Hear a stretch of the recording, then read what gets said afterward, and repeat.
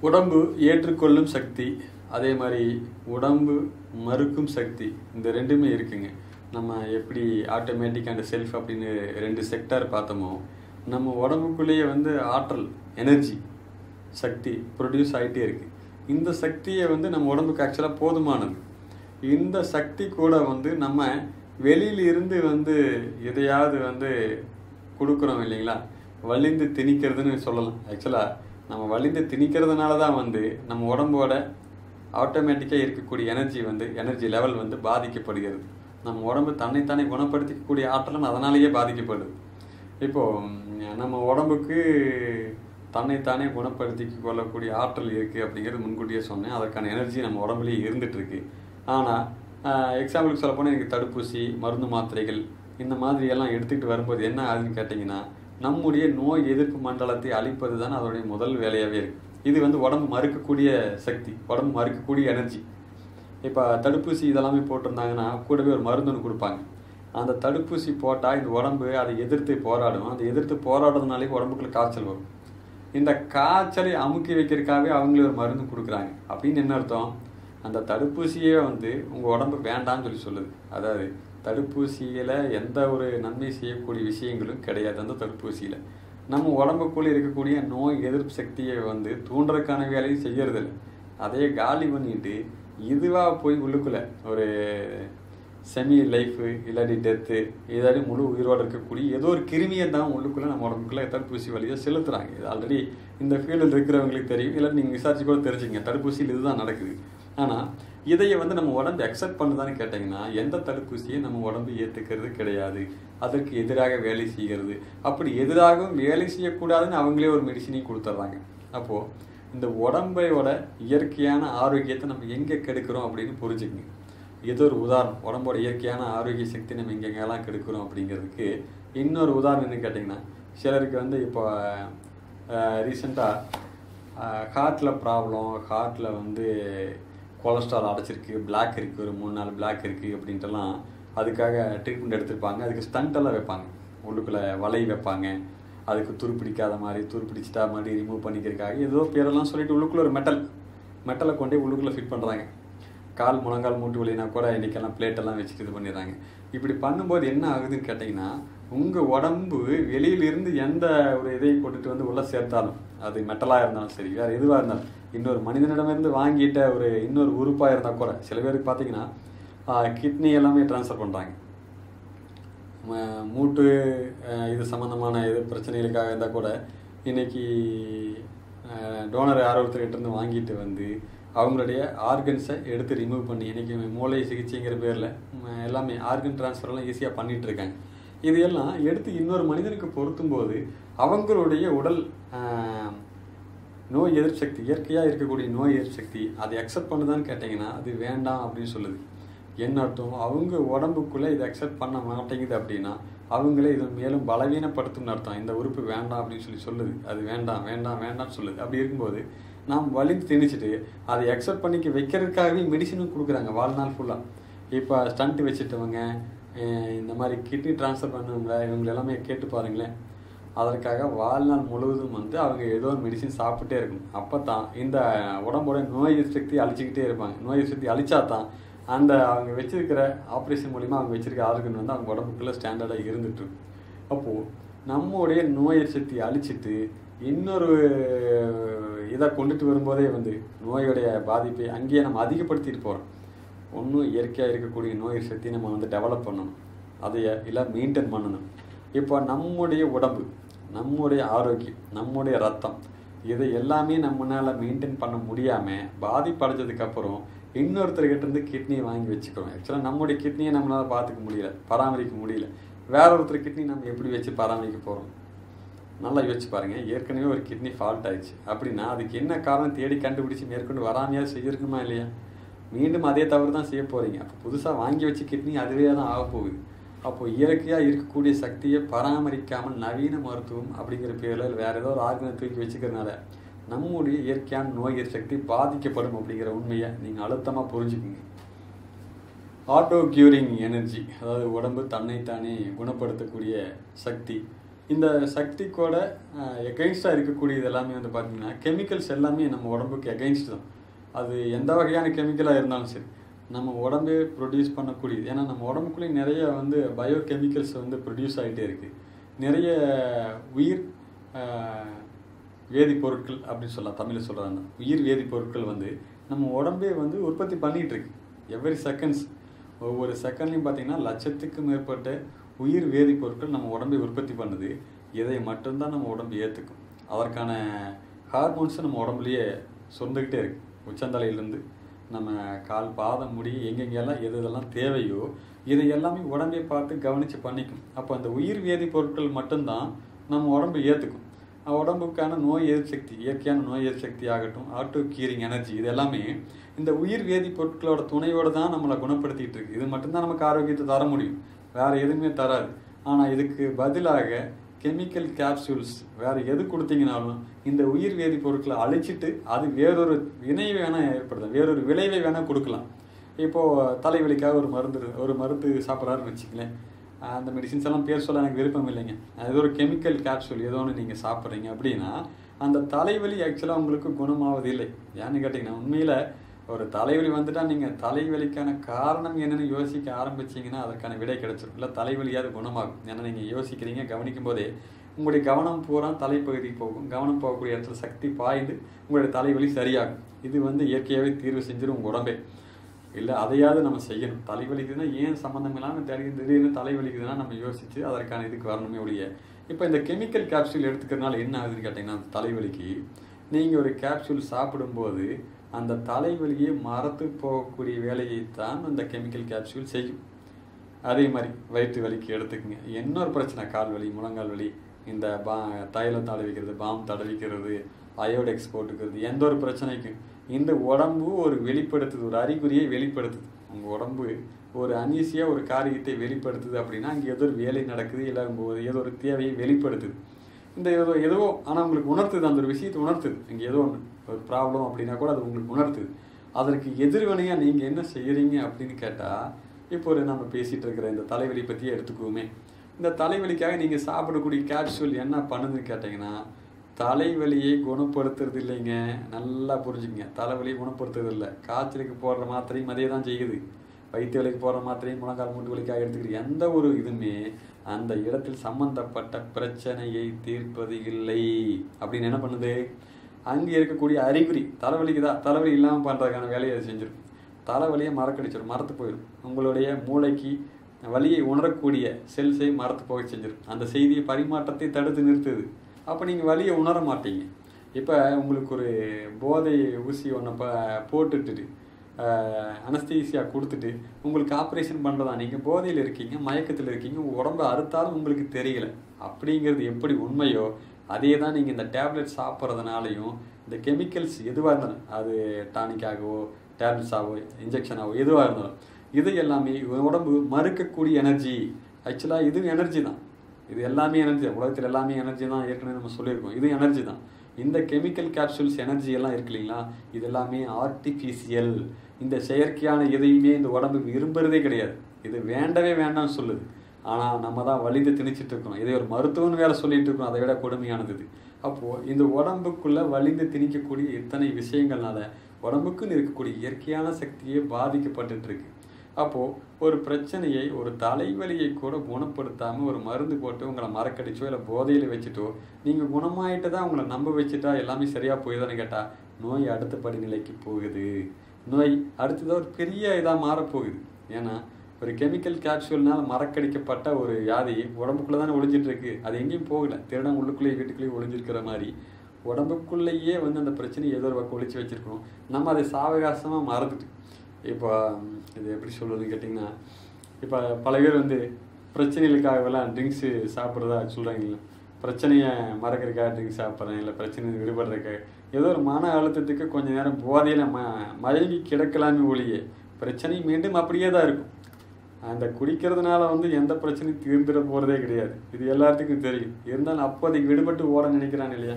ஒரு இது drinks use பண்ணுறது எந்த அளவுக்கு? அதே மாதிரி தான் இந்த டேப்லெட்ஸ் யூஸ் பண்ணி தற்காலிக சுகம் காணலாமே ஒழிய நிரந்தரமாக ஒரு நோயை குணப்படுத்த முடியாது. அப்படின்னா எது பெஸ்ட்டுங்க நம்ம உடம்புலேயே இருக்கக்கூடிய இயற்கையான நோய் எரிசக்தி ஒன்று அதை ப்ரொடியூஸ் பண்ணணும். இல்லை ஏற்கனவே இருக்கிற நோய் எரிசக்தியை பராமரிக்கணும். உற்பத்தி அண்ட் பராமரிப்பு இந்த ரெண்டு தாங்க. இது வந்து உலக விதி. ஒன்று ஒன்றை வந்து உருவாக்குறதுக்கான ஆற்றல் இருக்கணும். ஒன்றை உருவாக்குவதற்கான ஆற்றல் இந்த பிரபஞ்சத்துக்கிட்ட மட்டும்தான் இருக்குது நமக்கு வந்து கொஞ்சமான ஆற்றல் தான் கொடுக்கப்பட்டது. நமக்கு ஒன்றும் மிகப்பெரிய ஆற்றல்லாம் யார்கிட்டையுமே கிடையாது. நமக்கு கொடுங்க கொஞ்சம் ஆற்றல் எதுக்கு பயன்படுத்தலாம்? குறைந்தபட்சம் இந்த உடம்பை ஆரோக்கியமாக வச்சுக்கிறதுக்காக பயன்படுத்தலாமா இல்லையா? இந்த உடம்பை குறைந்தபட்சம் ஆரோக்கியமாக வச்சுக்கிறதுக்காவது இந்த ஆற்றலை நம்ம பயன்படுத்தலாம். அதாவது ஒரு ஆற்றலை உருவாக்குவது அப்படிங்கிறதையும் நம்மளால் செய்ய முடியும். பராமரிக்கிறதையும் நம்மளவுக்கு நம்மளால் செய்ய முடியும் இல்லையா? இந்த ரெண்டு விஷயத்தையும் நம்மளால் சரியாக பண்ணிட்டோம் அப்படின்னா வியாதி என்பது வரவே வராது. கெமிக்கல் கேப்சூல் என்பது அவசியமே இல்லை. அதே மாதிரி நான் சொன்னேன் உலக விதி அப்படின்ட்டு. இந்த உலகத்தில் இருக்கக்கூடிய ரெண்டே ரெண்டு விஷயம் இது மட்டும்தான். ஒன்று உற்பத்தி இன்னொன்று பராமரிப்பு. இந்த இரண்டும் இல்லாத புதுசாக ஒரு விஷயம் கிடையவே கிடையாது. இந்த மனிதன் ஒரு ஒவ்வொரு தனி மனிதனும் இந்த உலகத்துக்கு ஒப்பானவன். நல்லா ஞாபகம் வச்சுங்க உலகம் வந்து ஒரு தனி மனிதனால் வாழ்விக்கப்படவும் முடியும் அழிக்கவும் முடியும். அதே மாதிரி தான் ஒரு தனி மனிதனுடைய ஆரோக்கியம். உங்களோட ஆரோக்கியத்தை நீங்கள் வளர்க்கவும் முடியும் அழிக்கவும் முடியும். வளர்க்கணும் அப்படின்னா உங்ககிட்ட இருக்கக்கூடிய இயற்கையான நோய் எதிர்ப்பு சக்தியை டெவலப் பண்ணி மேலே கொண்டு வாங்க. இல்லையா? அழிக்கிறதா இருந்தால் கெமிக்கல் கேப்சூல் பக்கம்தான். ஏன்னா நான் அதை வல்ல அதை நான் ரெக்கமெண்ட் பண்ண மாட்டேங்க. கெமிக்கல் கேப்சூல் தேவையே இல்லை அவசியமே இல்லை. நாம் எப்பவும் இயற்கை பக்கமாகவே இருப்போம். ஒரு மனிதன் ஆரோக்கியமாக வாழ்கிறதுக்கு நம்ம உடம்போட இயற்கையான நோய் எரிசக்தியே சக்தியே போதுமானது. இல்லை அந்த நோய் எதிர்ப்பு சக்தியை வந்து டெவலப் பண்ணி பராமரிப்பதற்கான அறிவு ஆற்றலே போதுமானது. இது இருந்தால் போதுமானது. வெளியிலிருந்து எடுத்துக்கக்கூடிய இந்த கெமிக்கல்ஸ் அதெல்லாம் பார்த்தீங்கன்னா என்ன பண்ணுது கேட்டிங்கன்னா உடம்பு உற்பத்தி பண்ணக்கூடிய வேதிப்பொருட்கள் இருக்குங்க உயிர் வேதிப்பொருட்கள் சொன்னோம் இல்லைங்களா? உயிரி வேதிப்பொருட்கள் இந்த உடம்பே ப்ரொடியூஸ் பண்ணுறது அதையே வந்து இந்த வெளியிலிருந்து எடுத்துக்கக்கூடிய கேப்சூல்ஸை வந்து டிஸ்டர்ப் பண்ணுது. இன்னும் அதை திசை திருப்புது இல்லை சிதைக்குது. இல்லை வேறுண்டாக மாற்றுது. இப்போ நிறைய பேர்த்துக்கு வந்து ஹார்மோன் ப்ராப்ளம்ஸ் எல்லாம் இருக்குது இப்போ தைராய்டு ப்ராப்ளம் இருக்குது அது ஒரு ஹார்மோன் பிரச்சனை. சர்க்கரை அது ஒரு ஹார்மோன் பிரச்சனை. பிபி அதுவும். அப்போது எலும்பு தேய்மானம் உட்பட. இன்றைக்கி எந்தெந்த எந்தெந்த வியாதிகள் எல்லாமே இன்றைக்கு பெரிதாக மாறி இருக்கோ நீண்ட நாள் நோயாளி அப்படி நீண்ட நோயாளிகளாக நீண்ட நாட்கள் இருக்கக்கூடிய பிரச்சனையாக மாறி இருக்கோ தீர்க்க முடியாத நோய்கள் அப்படின்னு எதெல்லாம் சொல்கிறாங்களோ அதற்கு எல்லாமே வந்து மூல வேராக எது இருக்குன்னு கேட்டிங்கன்னா இந்த தவறான சிகிச்சை முறையும் தவறான கெமிக்கல் கேப்சூலும் தொடர்ந்து எடுத்துக்கிட்டே இருக்கிறது. இதனால் பாதிக்கப்பட்டது வந்து பார்த்தீங்கன்னா நம்ம ஏற்கனவே சொன்னோம் இல்லைங்களா self sector and automatic sector இந்த ரெண்டுமே பாதிக்கப்பட்டுருச்சு. ஆக்சுவலாக பாதிக்கப்பட்டுருச்சு. அதை வந்து ரீப்ரொடியூஸ் பண்ணாமல் இல்லை அதை மெயின்டைன் பண்ணாமல் இந்த வெறுமனே மெடிசினை மட்டுமே கெமிக்கல் கேப்சூல்ஸ் மட்டுமே கொடுத்துட்டு இருக்கறனால எந்த முன்னேற்றமும் இல்லாமல் ஒரு நோயாளி மீண்டும் நோயாளியாகவே இருந்துட்டு இருக்கான் நம்ம ஆரம்பத்தில் கேட்டோம் இல்லைங்களா? ஒரு மனிதன் ஏன் நோயாளியாகவே இருந்துட்டு இருக்கிறான் ஏன் இந்த சூழல் மாற மாட்டேங்குதுன்னா இப்போ நம்ம உடம்பு எல்லாவற்றையும் மாற்றுவதற்கும் பராமரிப்பதற்கும் நம்ம ஆரோக்கியமாக வச்சுக்கிறதுக்கான எல்லா வேலையும் செய்யும்போது அதுக்கு முட்டுக்கட்டை போடுற மாதிரியான வெளியிலிருந்து எடுத்துக்கக்கூடிய உடம்பு ஏற்றுக்கொள்ளாத எனர்ஜி கெமிக்கல்ஸ் கேப்சூல்ஸ் இது மாதிரியெல்லாம் போயிட்டே இருக்கும்போது இந்த உடம்பு தன்னை தானே ஆரோக்கியமாக வச்சுக்க கொள்ளக்கூடிய ஆற்றலை இழக்க ஆரம்பிக்கிறது இல்லை ஒரு கட்டத்தில் அது முற்றி முடிந்தே போய்விடுது இப்போ நிறைய பேர் பார்த்துருப்போம். மருத்துவத்தால் கைவிடப்பட்டிருக்காங்க வீட்டில் பெட் பேஷண்ட்டாக இருக்கிறவங்க வாழ்நாளுக்கு எந்த எண்ணிக்கிட்டு இருக்கிறவங்க இந்த மாதிரிலாம் சொல்கிறாங்க இல்லைங்களா? இதெல்லாம் என்ன நடந்திருக்குன்னு கேட்டிங்கன்னா அவருக்கு உடம்புல இருந்த கொஞ்ச நஞ்சு எனர்ஜியுமே வந்து கெமிக்கல் கேப்சூல் சுத்தமாக உறிஞ்சி எடுத்திருக்கும். அவ்வளோதான் ஸ்டீராய்டு எல்லாமே வந்து பல நாடுகளை தடைப்படுத்தியாச்சு இன்னும் நம்ம இந்தியாவில் பரவலாக புழக்கத்தில் தான் இருந்துட்டு இருக்கப்போ நம்ம உடம்புக்கு எது எல்லாமே கெடுதலோ அது எல்லாமே வந்து நாம் கண்மூடித்தனமாக நாம் நம்பிக்கொண்டிருக்கிறோம். இன்றைக்கும் வந்து இன்னும் நீங்கள் இதை பார்த்துட்டு இருக்கிறதுலே பெரும்பாலானவர்கள் வந்து நவீன மருத்துவத்திற்கு ஆதரவு தெரிவிப்புகளாக இருக்கலாம். எனக்கு அதை பற்றி கவலை இல்லை. உடம்பே இயற்கையாகவே வந்து தன்னை குணப்படுத்திக் கொள்ளக்கூடிய ஆற்றல் இருக்கும்போது அதை மேம்படுத்தி கொள்ளக்கூடிய வழியை தான் தேடணும் அதை தான் செய்யணும் அதை ஊக்குவிக்கணும். அதை விட்டுட்டு ஒரு கெமிக்கல் கேப்சூல் நிரந்தர தீர்வு தரும் என்று நினைப்பது ஒரு சர்ஜரி நிரந்தரமான தீர்வு தரும் என்று நினைப்பது உண்மையிலேயே முட்டாள்தனமானதுங்க. அதுலேருந்து நம்ம மாறிக்கணும். அப்போ உடம்போட இயற்கையான நோய் எதிர்ப்பு சக்தியை எல்லாமே பார்த்துக்கணும் அப்படின்னா இப்போ ஒரு ஆரோக்கியமாக ஒரு மனிதன் வாழ்கிறான் அப்படின்னு நம்ம எப்படி தெரிஞ்சுக்கிறது? இது ஒரு அடுத்த ஒரு முக்கியமான கட்டம். இன்றைக்கு ஆரோக்கியமாக வாழ்ந்துட்டு இருக்கும்போது வந்து நம்ம நோயை பற்றி யோசிக்கிறதுக்கே ஒன்றும் இல்லை முதலாவது புரிஞ்சுக்குங்க. ஒரு மனிதனை வந்து பயமுறுத்தி முப்பதாவது வயதிலையா உனக்கு முப்பது வயசு ஆயிடுச்சா நீ இந்த டெஸ்ட் எடு அந்த டெஸ்ட் எடு வருஷத்துக்கு ஒருக்கா டாக்டரை போய் செக்அப் பண்ணிக்க மாஸ்டர் செக்அப் பண்ணிக்கணும். பிளட்டு சுகர் அளவு பார்க்கணும் பிபி அளவு பார்க்கணும். இத்தனை வயசில் இந்தந்த வியாதிகள் வரும் ஆண்கள் இத்தனை பேர்த்துக்கு இந்த வியாதி வந்திருக்கு இந்த விஜயகாந்த் மாதிரி புள்ளி விவரங்கள்லாம் சொல்லி பயமுறுத்தக்கூடிய வேலைகளை முதல் நிறுத்தினாலே வியாதி என்பது வராது முதல்ல. ஏன்னா வியாதி உற்பத்தி பண்ணுறதுக்கு டாக்டர்கள் தேவையில்லை. இதுதான் என்னுடைய கருத்து. வியாதியில் வந்து இருக்கக்கூடிய மனிதனுக்கு கூட தைரியம் தன்னம்பிக்கை கொடுத்து அவனை அதிலிருந்து மீட்டு வெளியே கொண்டு வரக்கு தான் இங்கே ஆள் வேணும். அதற்கு தான் இங்கே மருத்துவர்கள் தேவை. அந்த டாக்டர்களை தான் இந்த சமூகம் எதிர்பார்த்து கொண்டிருக்கிறது. அப்போ பயமுறுத்துவது தேவையில்லை. புள்ளி விவரம் தேவையே இல்லை. உங்களால் குணப்படுத்த முடியும் அல்லது முடியாது. இந்த ரெண்டில் ஒன்று தான் வேணும். இப்போ குணப்படுத்த முடியும் அப்படின்னா அப்போ அந்த செக்டாருக்குள்ளே என்னெல்லாம் வழிமுறைகள் இருக்குது அப்போ அதற்கு ஆக்கப்பூர்வமாக இயற்கையாகவே வழிமுறைகள் இருக்கும்போது நம்ம ஏன் அதை பின்பற்றக்கூடாது இதுதான் என்னுடைய கேள்வி. சரி நம்ம அதை ஒரு பக்கம் வச்சிருவோம். இப்போது ஒரு மனிதன் ஆரோக்கியமாக இருந்துகிட்ருக்கான் இப்போ அவனுக்கு தான் நோயாளியோ அப்படிங்கிற சந்தேகத்துக்கு இடமே வேண்டியதில்லை. அவன் ஆரோக்கியமாக தான் இருந்துட்டுருப்பான் இல்லை ஏதாவது ஒரு பரிசோதனை மாதிரி சில டிப்ஸ் எல்லாம் இருந்தால் பரவாயில்லை. அவன் எந்தெந்த விதத்துலலாம் தன்னை ஆரோக்கியமாக இருக்கிறான்னு நிரூபிச்சுக்கிறது தன்னை தக்க வச்சுக்கிறது அப்படிங்கிறவங்களுக்காக ஒரு ஏழு பாயிண்ட்ஸ் நீங்கள் இதில் நீங்கள் உங்களை பொருத்தி பார்த்துட்டிங்கனாலே நீங்கள் ஆரோக்கியமாக இருக்கிறீங்களா இல்லையா நீ நீங்கள் தெரிஞ்சுக்கலாம். எப்படி? பசி உணர்வு இருக்கணும். எல்லா மனிதனுக்கும் எல்லா மனிதனுக்கும் பசி உணர்வு என்பது பொதுவானது. பசி உணர்வு இருக்கா? ரைட். நீங்கள் செய்யக்கூடிய வேலைக்கும் உங்களுடைய இதுக்கும் தகுந்தாற் போல் பசி உணர்வு இருந்தாலே போதும். நீங்கள் ஆரோக்கியமாகத்தான் இருக்கிறீங்க. அதற்கு அடுத்தது ஜீரண சக்தி நல்லா இருக்கும் சாப்பிட்ட சாப்பாடு நல்லா செரிமானம் ஆகும் சாப்பிட்ட சாப்பாடே ஜீரணம் ஆகலை அப்படின்னா அதுவே வியாதி தான் அப்போ அது என்ன அப்படிங்கிறத பார்த்து சரி பண்ணிக்கணும். ஜீரணம் சரியில்லை ஜீரணத்தை ஒழுங்குபடுத்தணும். பசி உணர்வுலேயே பசி உணர்வு வருவதற்கான வேலையினும் அதை செய்யணும். பசி உணர்வும் இருக்குது ஜீரண உணர்வும் இருக்கா. ரைட் ஓகே நீங்கள் நல்லா இருக்கீங்க. அடுத்தது மூணாவதாக வந்து தண்ணீர் தாகம் இருக்கணும். தண்ணீர் தாகம். ஏன்னா உடல் உழைப்புக்கு தகுந்தாற் போல் தாகத்துக்கு தகுந்தாற் போல் தண்ணீர் வந்து குடிச்சுக்கிட்டு ஆகணும். அதே மாதிரி குளிக்கிறது முக்கியமானது. குளிர்த்தல் உடம்பு குளிர்க்கணும் இல்லையா? அது முக்கியம். தாகத்துக்கு தண்ணீர் குடிக்கிறது முக்கியமானது. இந்த மூன்று விஷயம் இருக்கா? ஓகே அடுத்தது நாலாவது. கழிவுகள் முறையாக வெளியேற்றும். அதாவது சிறுநீர் வழியாகவும் மலம் வழியாகவும் வியர்வை துளைகள் வழியாகவும் அப்புறம் கண் பீலை காதில் வரக்கூடிய சின்ன சின்னதாக அழுக்கு உருண்டைகள்லாம் வெளியேறுதுங்க.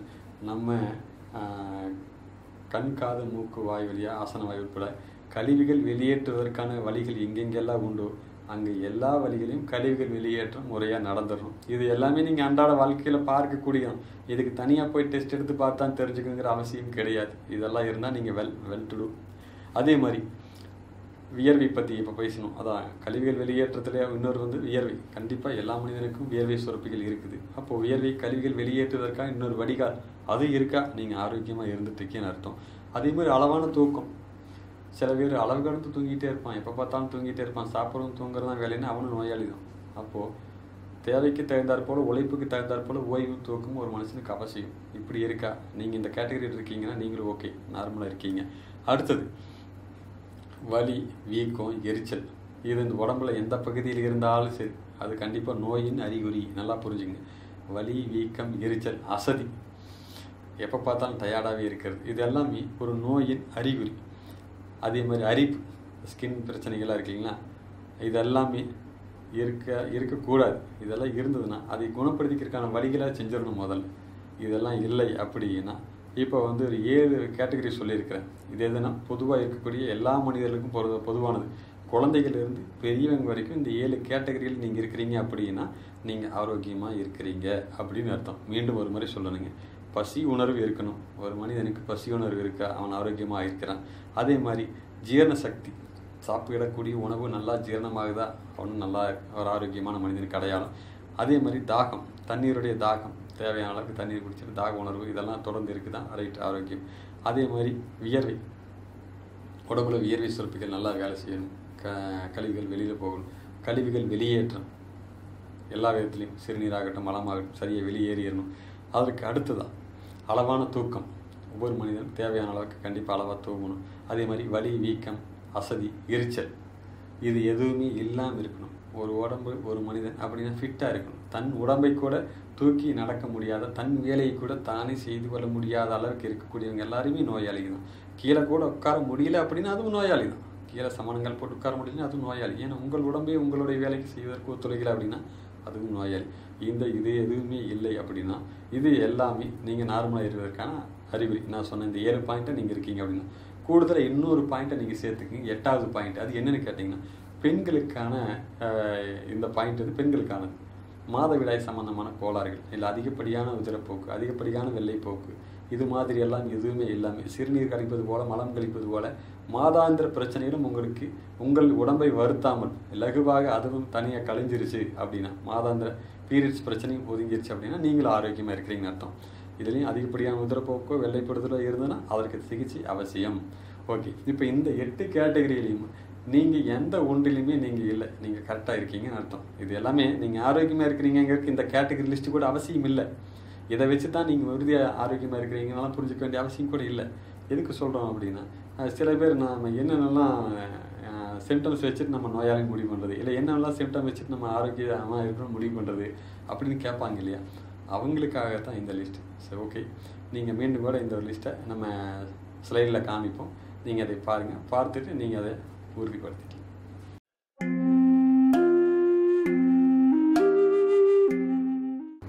A sound mind in a sound body Mahatma காந்தியடிகள் சொல்லியிருக்காருங்க. அதாவது ஆரோக்கியமான மனித உடலில் இருந்து தான் ஆரோக்கியமான சிந்தனைகள் பிறக்கும் அப்படின்ட்டு. அப்போது ஒரு மனிதன் ஆரோக்கியமாக சிந்திக்கணும்னா கூட அவன் மனித உடம்பு அவனுடைய உடம்பு வந்து முதல்ல ஆரோக்கியமான நிலையில் இருந்தால் தான் முடியும். இப்போ நம்ம ஒரு ஏழு வகையான ஆரோக்கியத்துக்கான அடையாளமாக ஒரு ஏழு கேட்டகரி பார்த்துருக்கோம். லேடிஸாக இருந்தால் ஒன்று சேர்த்திக்கோங்க எட் மொத்தம் எட்டு கேட்டகரியில் பார்த்துருக்கோம். இந்த மாதிரியெல்லாம் இருந்தால் ஒரு மனிதன் ஆரோக்கியமாக இருக்கிறான் அப்படின்னு நம்ம எடுத்துக்கலாம். ஓகே. இதிலிருந்து நம்ம அடுத்த கட்டத்துக்கு நகரும். ஆரோக்கியத்தை பற்றி தான் நம்மளுடைய பிரதானமே. ஆரோக்கியமாக வாழ்வது தான் நம்மளுடைய பிரதானமே. இப்போ இதிலிருந்து ஆரோக்கியம் குறையும் போது நாம் எந்த மாதிரியாக நாம் சிகிச்சை முறைகளை எடுத்துக்கொள்வது? நாம் எப்படி நம்ம கவனிச்சுக்கிறது அப்படிங்கிறது தான் நம்மளுடைய அடுத்த டாபிக் இப்போ நம்ம பார்த்த இது வரைக்கும் பார்த்ததிலிருந்து ஒரு முடிவுக்கு வந்திருப்பீங்க. ஒரு மனிதன் ஆரோக்கியமாக வாழ்வதற்கு மொத்தமாக சக்தி அப்படிங்கிறது ரொம்ப ரொம்ப முக்கியம். உடம்பு ஆட்டோமேட்டிக்காக க்யூர் பண்ணக்கூடிய எனர்ஜியோடு தான் இருக்குது ஆட்டோ க்யூரிங் எனர்ஜியோடு தான் இருக்குது அப்போ அதுக்கு சப்போர்ட் பண்ணக்கூடிய எந்த ஒன்றுமே வந்து இப்போ நம்ம சாப்பிட்ற சாப்பாடு அது நம்ம உடம்புக்கு சக்தி கொடுக்கக்கூடியதாக இருக்குது அதனால தான் அந்த உடம்போடு ஏற்றுக்கொண்டு அது வேலை செய்யுது. உடம்போடு இணைந்து அந்த ஆற்றலை வழங்குது. ஜீரணத்தின் முடிவில் கிடைக்கக்கூடிய ஆற்றல் நம்ம உடம்புக்கு அக்செப்டடாக இருக்குது அதனால தான் நம்மளால் சக்தி கொடுத்து நம்மளால் இயங்க முடியுது. குடிக்கிற தண்ணி அதே மாதிரி தான் அப்போது செல்ஃபாக நம்ம எடுத்துக்கக்கூடிய எந்த ஒன்றுமே வந்து பார்த்திங்கன்னா நம்ம சாப்பிடக்கூடிய உணவு இந்த உடம்புக்கு ஒத்துக்கக்கூடியதாக இருக்குது குடிக்கக்கூடிய தண்ணி உடம்புக்கு ஒத்துக்கக்கூடியதாக இருக்குது அப்படின்னு அர்த்தம். இந்த உடம்போட எனர்ஜி கூட அதெல்லாம் ஒத்து போகுதுன்னு அர்த்தம். அதே மாதிரி சுவாசிக்கிற காற்றாகட்டும் தூக்கமாகட்டும் இந்த உடம்போட ஹீட் இதுக்காக வந்து நம்ம தனியாக எந்த டேப்லெட்ஸும் எடுத்துக்கிறதில்ல எந்த ட்ரீட்மெண்ட் எடுத்துக்கிறதில்ல. இது ஆட்டோமேட்டிக் செக்டார்லேயும் அதே கரெக்டாக நடக்குது. அப்போது செல் செக்டாரும் ஆட்டோமேட்டிக் செக்டாரும் வந்து கரெக்டாக தான் போயிட்டுருக்கு இப்போ வெளியிலிருந்து எந்த ஒரு சக்தியும் அதற்கு தேவைப்படுவதில்லை. இதையே வந்து இது சரியாக பார்த்துக்கிட்டு நிர்வாகம் பண்ணிக்கிட்டு இருக்கு. அப்போது அப்படி இருக்கும்போது ஒரு மனிதனுக்கு ஆரோக்கிய குறைவு அப்படிங்கிறது எங்கே வந்திருக்குன்னு கேட்டிங்கன்னா பேசிக்காக செல்ஃப் செக்டார்லேருந்து தான் ஆரம்பிக்கணும்னு நான் ஏற்கனவே சொன்னேன். ஒன்று உணவு முறைகளில் நம்ம செய்யக்கூடிய பல தவறுகள். இன்னொன்று தண்ணீர் குடிக்கிறதுல அதற்கு அடுத்த சுத்தமான காற்று இல்லாது தேவையானப்போ தூங்காமல் இப்போ ஒன்றும் இல்லை எக்ஸாம்பிளுக்கு சொல்கிறாங்க இப்போ ஒரு மனிதனுக்கு நல்ல பசி அகோர பசி நல்லா சாப்பிடலாம் அப்படின்னு அவருக்கு தோணும் போது அவருக்கு தூக்கம் எப்படி தீர்வாக இருக்க முடியும்? நல்லா யோசிச்சு பாருங்க. அவருக்கு பசி. இப்போ பசிக்கிறது அப்படின்னா சாப்பிட்டால் அவருடைய பசி உணர்வு அற்றுப்போகும். பசி உணர்வு அற்றுப்போகும். ஜீரணத்து மூலிமா ஒரு சக்தி கிடைக்கும். ஆரோக்கியமாக இருப்பார். ஆனால் பசிக்கு அவருக்கு தூக்கம் எப்படி தீர்வாக முடியாதோ அதாவது தூக்கத்தின் மூலமாக கிடைக்கக்கூடிய எனர்ஜிக்கு தூக்கம் தான் தீர்வு. பசி உணர்வு மூலியமாக கிடைக்கக்கூடிய இதுக்கு வந்து உணவு தான் தீர்வு. அப்போது இரண்டும் வேறு வேறு. ஒவ்வொன்றும் வேறு வேறாக வேறு வேறாக இருக்குது அதனால் மூலமாக கிடைக்கக்கூடிய ஆற்றல் அதன் அதற்கு பங்குக்கு நம்ம உடம்புக்கு கிடைச்சே ஆகணும். அப்போ ஒன்றொன்று ஒன்று இன்னொன்றுக்கு மாற்றாக முடியாது. அப்போ செல்ஃப் செக்டாரில் நம்ம கரெக்டாக இருந்துட்டோம் அப்படின்னா ஆட்டோமேட்டிக் செக்டார்லேயும் நம்ம சரியான ஒத்துழைப்பு உடம்புக்கு கொடுத்துட்டோம் அப்படின்னா நம்ம ஆரோக்கியமாக வாழ்வோம். இதில் எந்த ஒரு மாற்று கருத்தும் இல்லை.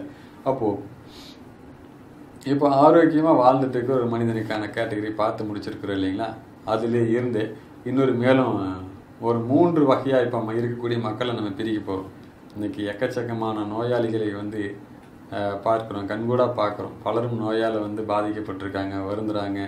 மருத்துவ சிகிச்சை வந்து செய்து கொள்வதற்கான வழிமுறைகள் சரியான வழிகாட்டுதல் இல்லாமல் எங்கெங்கோ பாவம் வளைந்து தெரிந்து கொண்டிருக்கிறார்கள். இந்த இதில் இருக்கக்கூடியவங்களெல்லாம் நம்ம ஒரு மூணு கேட்டகரியாக பிரிக்க போகிறோம் இதிலிருந்து ஒரு மூணு கேட்டகரியாக மக்களை பிரிக்க போகிறோம் எப்படின்னு கேட்டிங்கன்னா நோய் எதிர்ப்பு சக்தி அதிகம் உள்ளவர்கள். இந்த நோய் எதிர் சக்தி நம்ம தான் சொன்னீங்கன்னா உடம்போட எனர்ஜி ஆட்டோ கீரிங் எனர்ஜி தான் ஒவ்வொருத்தரையும் க்யூர் பண்ணுதுன்னு. இது எல்லாத்துக்குள்ளே இருக்குது இது யாருக்கு அதிகமாக இருக்குதோ அவங்கெல்லாம் முதல் கேட்டகரி சரி இதுக்கு என்னங்க உதாரணம் அப்படின்னு கேட்டிங்கன்னா இப்போ சளி தும்மல் தலைவலி இந்த மாதிரி இருக்குது இல்லைங்களா? இந்த மாதிரி ஆக்சுவலி எல்லாத்துக்குமே இதெல்லாம் வரக்கூடியது தான் இது எல்லாமே ஒன்று ரெண்டு நாளில் தானே குணமாயிடுது நம்மளும் கண்கூட பார்க்குறோம் இதற்காக எந்த ட்ரீட்மெண்ட்டும் தேடி போக வேண்டிய அவசியமே இல்லை. நம்ம ட்ரீட்மெண்ட் பார்க்காமையே நம்ம உடம்பே நம்மளை குணப்படுத்திடு இந்த மாதிரி பிரச்சனை இல்லை. சளியாக ஒரு மூன்று நான்கு நாட்களில் தானே சரியாக போயிடும். தும்மல் இருக்கும் இல்லாட்டி சளியாக இருக்கும். இதெல்லாம் மூணு நாள் சரியாக போயிடும் தலைவலியாக கொஞ்சம் நேரம் தூங்கி இருந்துச்சா கூட சரியாக போயிடும். இதெல்லாமே இந்த உடம்பு தன்னை தானே குணப்படுத்திடுது. அவங்களுக்கு அந்த வேலையை கொடுப்பதே இல்லை. நீங்களாக வேற ஏதாவது பண்ணிட்டா தான் அந்த பிரச்சனை மேலும் பலமாகுமே தவிர இதுக்காக இது மெடிசினை தான் சாப்பிட்டா தொந்தரவு அதிகமாகும். இந்த இடத்துல இன்னும் புரிஞ்சுக்குங்க. கெமிக்கல் கேப்சூல்னா வந்து ஒரு தொந்தரவை அதிகப்படுத்துது. ஒரு பிரச்சனையை அதிகப்படுத்துது. ஆனால் மூலிகைகள் இருக்கு இல்லைங்க இந்த உடம்போடு ஏ சேர்ந்து இயங்கக்கூடிய எல்லாமே இந்த இதுக்கு சப்போர்ட் பண்ணுது. இப்போ சளி பிரச்சனை உள்ள ஒருத்தர்னு வச்சுக்கோங்களேன்.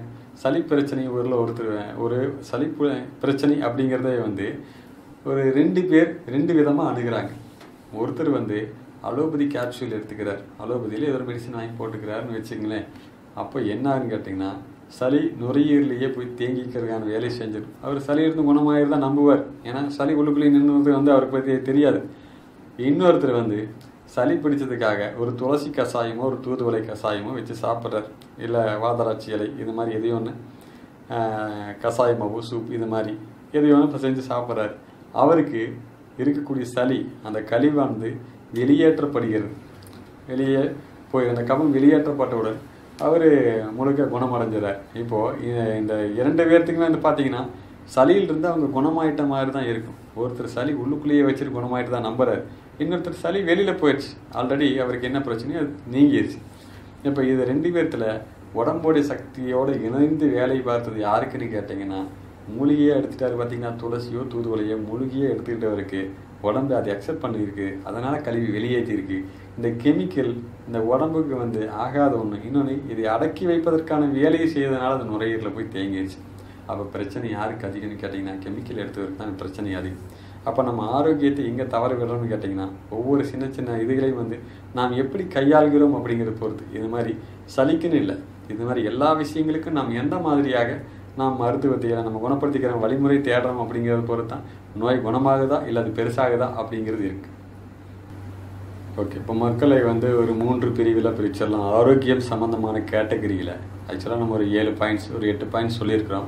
அதில் அது மூணு வெரிஃபை பண்ணிக்கலாம். இதில் ஒன்றோ ரெண்டோ மூணோ மிஸ் ஆகிருக்கு இல்லை நாலோ மிஸ் ஆகிருக்கு அப்படின்னா அதற்கு என்ன சரியான வழிமுறைகளோ அதை வந்து அவங்கவுங்களே தங்களை குணப்படுத்திக்கலாம். இயற்கையான வழிமுறைகள் அது எல்லாமே இருக்குது நம்ம இந்த நிகழ்ச்சியோட இறுதியில் கூட நம்ம அதற்கான தெளிவான விளக்கங்கள் சொல்ல போகிறோம் சந்தேகங்கள் இருந்து கூட நம்ம பிற்பாடு அதை நீங்கள் கேட்டிங்கன்னா நம்ம உங்களுக்கு தெளிவுபடுத்த தயாராக இருக்கிறோம் ஓகே இப்போ வந்து பொதுவாக இப்போ இருக்கக்கூடிய மக்களை ஒரு மூன்று கேட்டகரி ஆரோக்கியத்தோட படிநிலைகளில் ஒரு மூன்று கேட்டகரியை நம்ம பிரிக்க போகிறோம் எப்படி?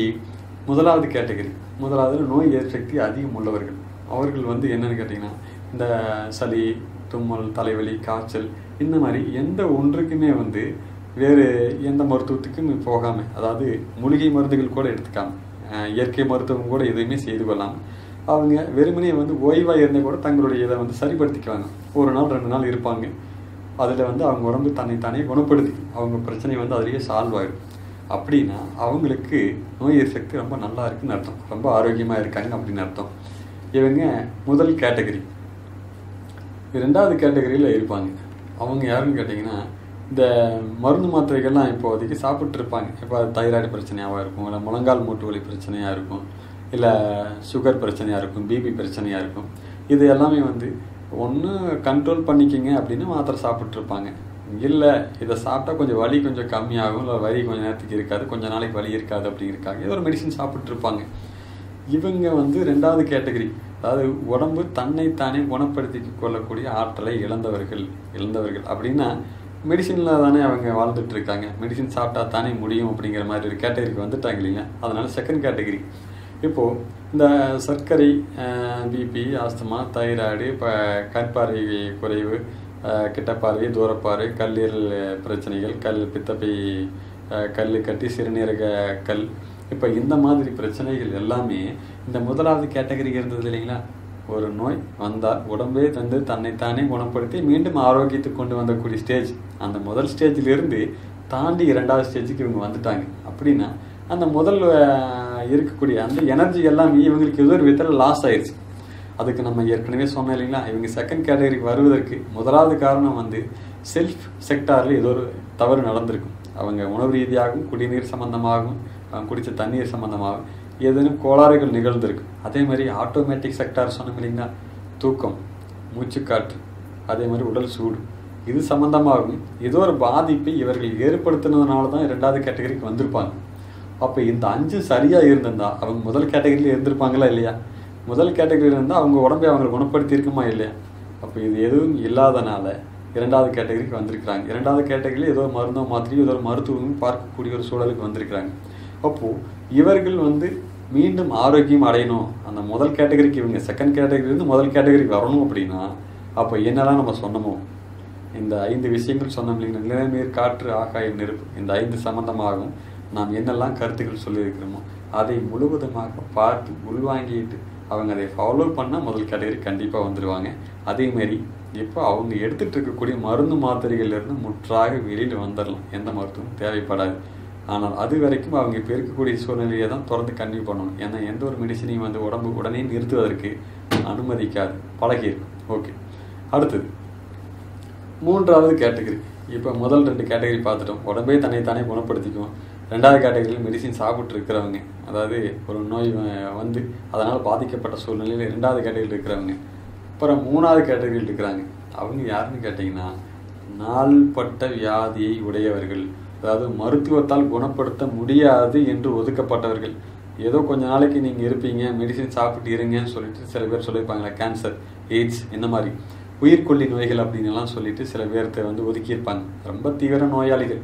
அவங்க அதிலிருந்து மீண்டு வருவது அப்படிங்கிறது அது கடவுள் புண்ணியங்கிற மாதிரி எல்லாம் இருப்பாங்க இல்லையா? மூன்றாவது கேட்டகரி. இப்போ இவங்களுக்கு இந்த மாதிரி இருக்கிறவங்க என்ன பண்ணணும்னு கேட்டிங்கன்னா இந்த முதலாவது கேட்டகரிக்கும் ரெண்டாவது கேட்டகரிக்கும் நம்ம என்ன செய்திருக்கிறோமோ இப்போ இரண்டாவது கேட்டகரிக்கு வர்றதுக்கு இவங்களை ஈஸியாக கொண்டு வர முடியும். என்ன பண்ணலாம்? இப்போ மருந்துகளோ மாத்திரைகளோ துணை செய்யாது அப்படிங்கும் போது ஒரு கெமிக்கல் கேப்சூலோ ஒரு அந்த வழிகாட்டுதலோ அவர்களை குணப்படுத்த முடியாது. முற்றா டிக்ளரே பண்ணிட்டாங்க. இனிமேல் வந்து நாள்பட்ட வியாதி ஒன்றும் பண்ண முடியாதுன்னு சொல்லிட்டாங்க அப்படிங்கும்போது அவங்க இரண்டாவது கேட்டகரிக்கு வர முயற்சி பண்ணலாம். ஏன்னா மருந்து சாப்பிட்டு தன்னை குணப்படுத்திக்கலாங்கிற நம்பிக்கையில் இருக்கிறவங்க தான் ரெண்டாவது கேட்டகரியில் இருக்கிறவங்க எல்லாமே. அப்போது நாம் ஏற்கனவே சொல்லியிருக்கிற அத்தனை வழிமுறையிலும் ஃபாலோ பண்ணிட்டு வந்தாங்க அப்படின்னா அவங்க படிப்படியாக ரெக்கவர் ஆகிட்டு வருவாங்க. அவங்களுடைய வாழ்நாள் வந்து இன்னும் அதிகரிக்கிறதுக்கான வாய்ப்புகள் அதிகம். இந்த உலகத்தில் மொத்தமே மூணே மூணு கேட்டகரியில் தான் இப்போ மக்கள் இருக்கிறாங்க.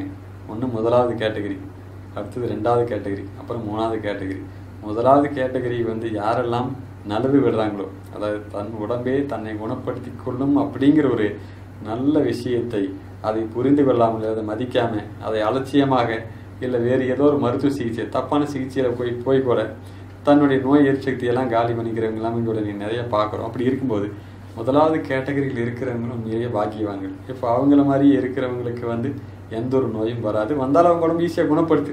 இப்போ ரெண்டாவது கேட்டகரியில் இருந்தாலும் ஒன்றும் மோசம் இல்லை திரும்பவும் வந்து முதல் கேட்டகரி வருவதற்கான வழிமுறைகளை பின்பற்றலாம். இப்போ மூன்றாவதில் இருக்கிறீங்க. நாள்பட்ட வியாதி முடிவே செய்யப்பட்டவர்கள். அவர்களுக்கும் ஒரு வாய்ப்பு உண்டு ஒரு வாழ்க்கை உண்டு. அவர்கள் மேற்சொன்ன இது எல்லாத்தையும் சேர்த்துட்டு ஃபாலோ பண்ணிட்டு வந்தாங்க அப்படின்னா அவங்களும் சீக்கிரமாகவே ஆரோக்கியசாலிகளாக மாறிடலாம். மனிதன் ஆரோக்கியமாக நிம்மதியாக மகிழ்ச்சியாக சந்தோஷமாக வாழ்வதற்கு இரண்டே இரண்டு வழிமுறைகள் இருக்குது இது சம்மந்தமாக ஏற்கனவே நம்ம சொல்லியிருக்கிறோம்.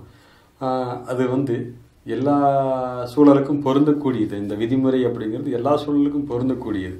இப்போ நம்ம ஆரோக்கியத்துக்கு இந்த கான்செப்டை எப்படி அடாப்ட் பண்ணிக்கலாம் அப்படிங்கிறது பார்ப்போம். இது என்னென்னு கேட்டிங்கன்னா ஒன்று உருவாக்குதல் ப்ரொடியூசிங் இன்னொன்று வந்து பராமரிக்கிறது மெயின்டெனன்ஸ் இப்போது நம்ம உடல் ரீதியாக இருக்கக்கூடிய ஆரோக்கியத்தை இந்த இரண்டு விதிகளை கொண்டு நம்ம பகுத்து பார்க்க போகிறோம் ஒன்று உருவாக்குறது இன்னொன்று பராமரிக்கிறது. இது இரண்டுமே எல்லாத்து உடம்புலையும் நடந்துட்டு தான் இருக்குது எல்லாத்துடையும் இதுலேயுமே வந்து இயல்பாகவே இந்த ஆற்றல் செயல்பட்டுட்டே இருக்குது அதாவது உற்பத்தி ஆற்றலும் பராமரிப்பு ஆற்றலும் எல்லாத்துக்குள்ளேயும் செயல்பட்டுட்டே இருக்குது நாம் இப்போ இருக்கக்கூடிய மக்களை வந்து நம்ம மூணு கேட்டகரியில் பிரிச்சோம். நோய் சக்தி அதிகமாக இருக்கிறவங்க இரண்டாம் தரம் மூன்றாம் தரம் மூன்றாவது கேட்டகரி அப்படின்னு பிரித்தோம் இல்லைங்களா? இந்த மூணு கேட்டகரியில் இருக்கிறவங்களுக்கும் இந்த ரெண்டு விஷயங்கள் இந்த இரண்டு விதிகள் இரண்டு தங்கமான விதிகள் பொருந்தக்கூடியது. அதாவது உற்பத்தி அண்டு பராமரிப்பு. ரொம்ப சிம்பிளாக வச்சுக்கோங்க உற்பத்தி அண்டு பராமரிப்பு. இந்த உற்பத்தி அப்படிங்கிறது வந்து எப்படி சொல்லலாம்னு கேட்டிங்கன்னா நம்ம உடம்புல எல்லாமே எவ்வளவோ உற்பத்தி ஆகிட்டு ஒரு செல் இன்னொரு செல் ரீஜெனரேட் ஆகிட்டே இருக்குது ஒரு செல் இறந்துருச்சு அப்படிங்கிறதுக்காக இன்னொரு செல் உற்பத்தி ஆகாமல் இல்லை ஒரு செல் அழியும் போதே இன்னொரு செல்லை உற்பத்தி ஆகிட்டு தான் அந்த இடத்துல இருந்து அகலுது. அதேமாதிரி ரத்தம் ஒவ்வொரு மனிதனுக்குமே வந்து தேவையான அளவுக்கு ஒவ்வொருத்தர் உடம்புலையும் ரத்தம் இருந்துகிட்டே இருக்கு. அப்போது அவர்களுக்கான சத்து தாது உப்புக்கள் வைட்டமின்கள் எல்லாமே ப்ரொடியூசிங் ஆகிட்டே இருக்கு. உற்பத்தி. அதே மாதிரி சுரப்பு நீர்கள்னு சொல்லுவாங்க. சுரப்பு நீர்கள்லாம் ஹார்மோன்களை வந்து சுரக்குது இல்லைங்களா சுரப்பிகள். இது இயக்கு நீர்கள் அப்படின்னு சொல்லுவாங்க. இயக்கு நீர்கள். இந்த உடம்பு மொத்தத்துக்கான இயக்கத்தை ஒவ்வொரு ஹார்மோன்ஸும் ஒவ்வொரு ஹார்மோன் சுரப்பிகளுமே வந்து இயக்கம் பண்ணி கொடுத்துக்கிட்டே இருக்கு. நம்ம உச்சந்தலையிலிருந்து உள்ளங்கால் வரைக்கும் அந்த வேலையை தொய்வின்றி நடத்திக்கிட்டே இருக்குது. இது வந்து உற்பத்தி ப்ரொடியூசிங் செக்டாரில் நடக்கக்கூடிய வேலை இது. இதில் எங்கேயுமே தொய்வு கிடையாது. ஒவ்வொரு மனிதனும் அதுவும் சிசுவாக இருக்கக்கூடிய காலத்திலிருந்தே இந்த ப்ரொடியூசிங் சிஸ்டம் அப்படிங்கிறது ரெடியாக இருக்குது அந்த இது பை ப்ராடக்ட்லேயே வந்து தயார்படுத்தி வச்சிருக்கிற மாதிரி. சிசுவாக இருக்கும்போதே ஒரு மனிதன் இந்தந்த காலத்தில் இந்தந்த சுரப்பிகள் இவ்வளவு சுரக்கணும் அப்படிங்கிறது உட்பட அவ்வளவு துல்லியமாக ஃபார்முலாவெல்லாம் வந்து செட் பண்ணி வச்சுருக்காங்க. ப்ரோக்ராம் பண்ணி வச்சுருக்கிற மாதிரி அவ்வளவு துல்லியமாக ஒவ்வொருத்தர் உடம்புக்குள்ளேயும் வேலை செய்யுது. இந்த ப்ரொடியூசிங் செக்டார் அப்போ உற்பத்தி அப்படிங்கிறது எந்த இடத்துலையும் மாறுவதில்லை. நமக்கு உற்பத்தி ஆற்றல் அப்படிங்கிறது எல்லா மனிதர்களுக்குள்ளுமே இருந்துகிட்ருக்கு நடந்துகிட்ருக்கு அதே மாதிரி பராமரித்தலை வந்து பார்த்தீங்கன்னா பராமரித்தலை நம்ம ரெண்டு விதமாக சொல்லியிருந்தோம். அதாவது automatic sector and self sector சொல்லியிருந்தோம். அதாவது காற்று நெருப்பு ஆகாயம் மூணும் வந்து ஆட்டோமேட்டிக் செக்டார் அப்படின்னும். அந்த நிலம் நீர் அப்படிங்கிறது வந்து நம்மளுடைய சுய கட்டுப்பாடு இருக்கனால இது வந்து செல்ஃப் செக்டார் அப்படின்னு பார்த்தோம் இல்லைங்களா? இதுவுமே வந்து பராமரிப்பு சம்மந்தமானது அப்போ இதுவுமே வந்து ஒவ்வொரு மனிதர்களுமே மேற்கொண்டுட்டு தான் வர்றாங்க. எல்லாருமே தங்களுக்கு தெரிந்த வகையில் இதை செஞ்சுட்டு வராங்க இப்போது உடம்பு தானே செய்யக்கூடிய உற்பத்தி சக்தி ப்ரொடியூஸ் பண்ணுது ஹார்மோன்களை ப்ரொடியூஸ் பண்ணுது ஜீவ சுரப்பு நீர்கள் சொல்லக்கூடிய இது எல்லாமே ஒவ்வொரு மனிதனுடைய தேவைக்கு தகுந்தாற் போல் உற்பத்தி ஆகிக்கொண்டே இருக்கிறது. அதே மாதிரி பராமரித்திலும் பார்த்தீங்கன்னா இந்த உடம்பே மேற்கொண்டுட்டு இருக்குது வெளியிலேருந்து நம்ம என்னெல்லாம் சக்தி உடம்புக்கு தேவையோ அது அத்தனையும் கிரகிச்சு பராமரிக்கக்கூடிய வேலையும் இந்த உடம்பே செய்துக்கிட்டே இருக்குது இப்போ இந்த இரண்டுமே வந்து இல்லாத மனிதன் தான் நோய்வாய்ப்படுகிறான்.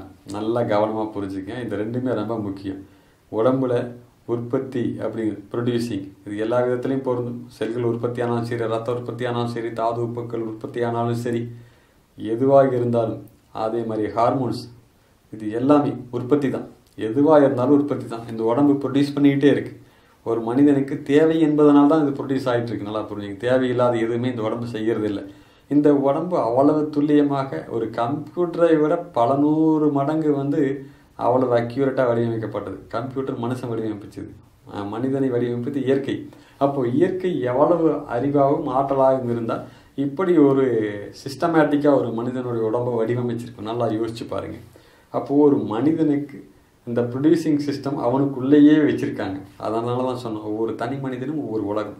உலகத்தில் எப்படி எல்லாமே உற்பத்தி ஆகுதோ ஒவ்வொரு மனிதனுக்குள்ளேயும் இந்த உற்பத்தி ஆற்றல் உற்பத்தி அப்படிங்கிற விஷயம் நடந்துக்கிட்டே இருக்கு. எல்லா இதுலையுமே எந்த ஒன்றுமே குறைவில்லை ஒரு மனிதனுக்கு என்ன வேணுமோ எல்லாமே உற்பத்தி ஆகிட்டே இருக்கு. சாப்பிடணுமா?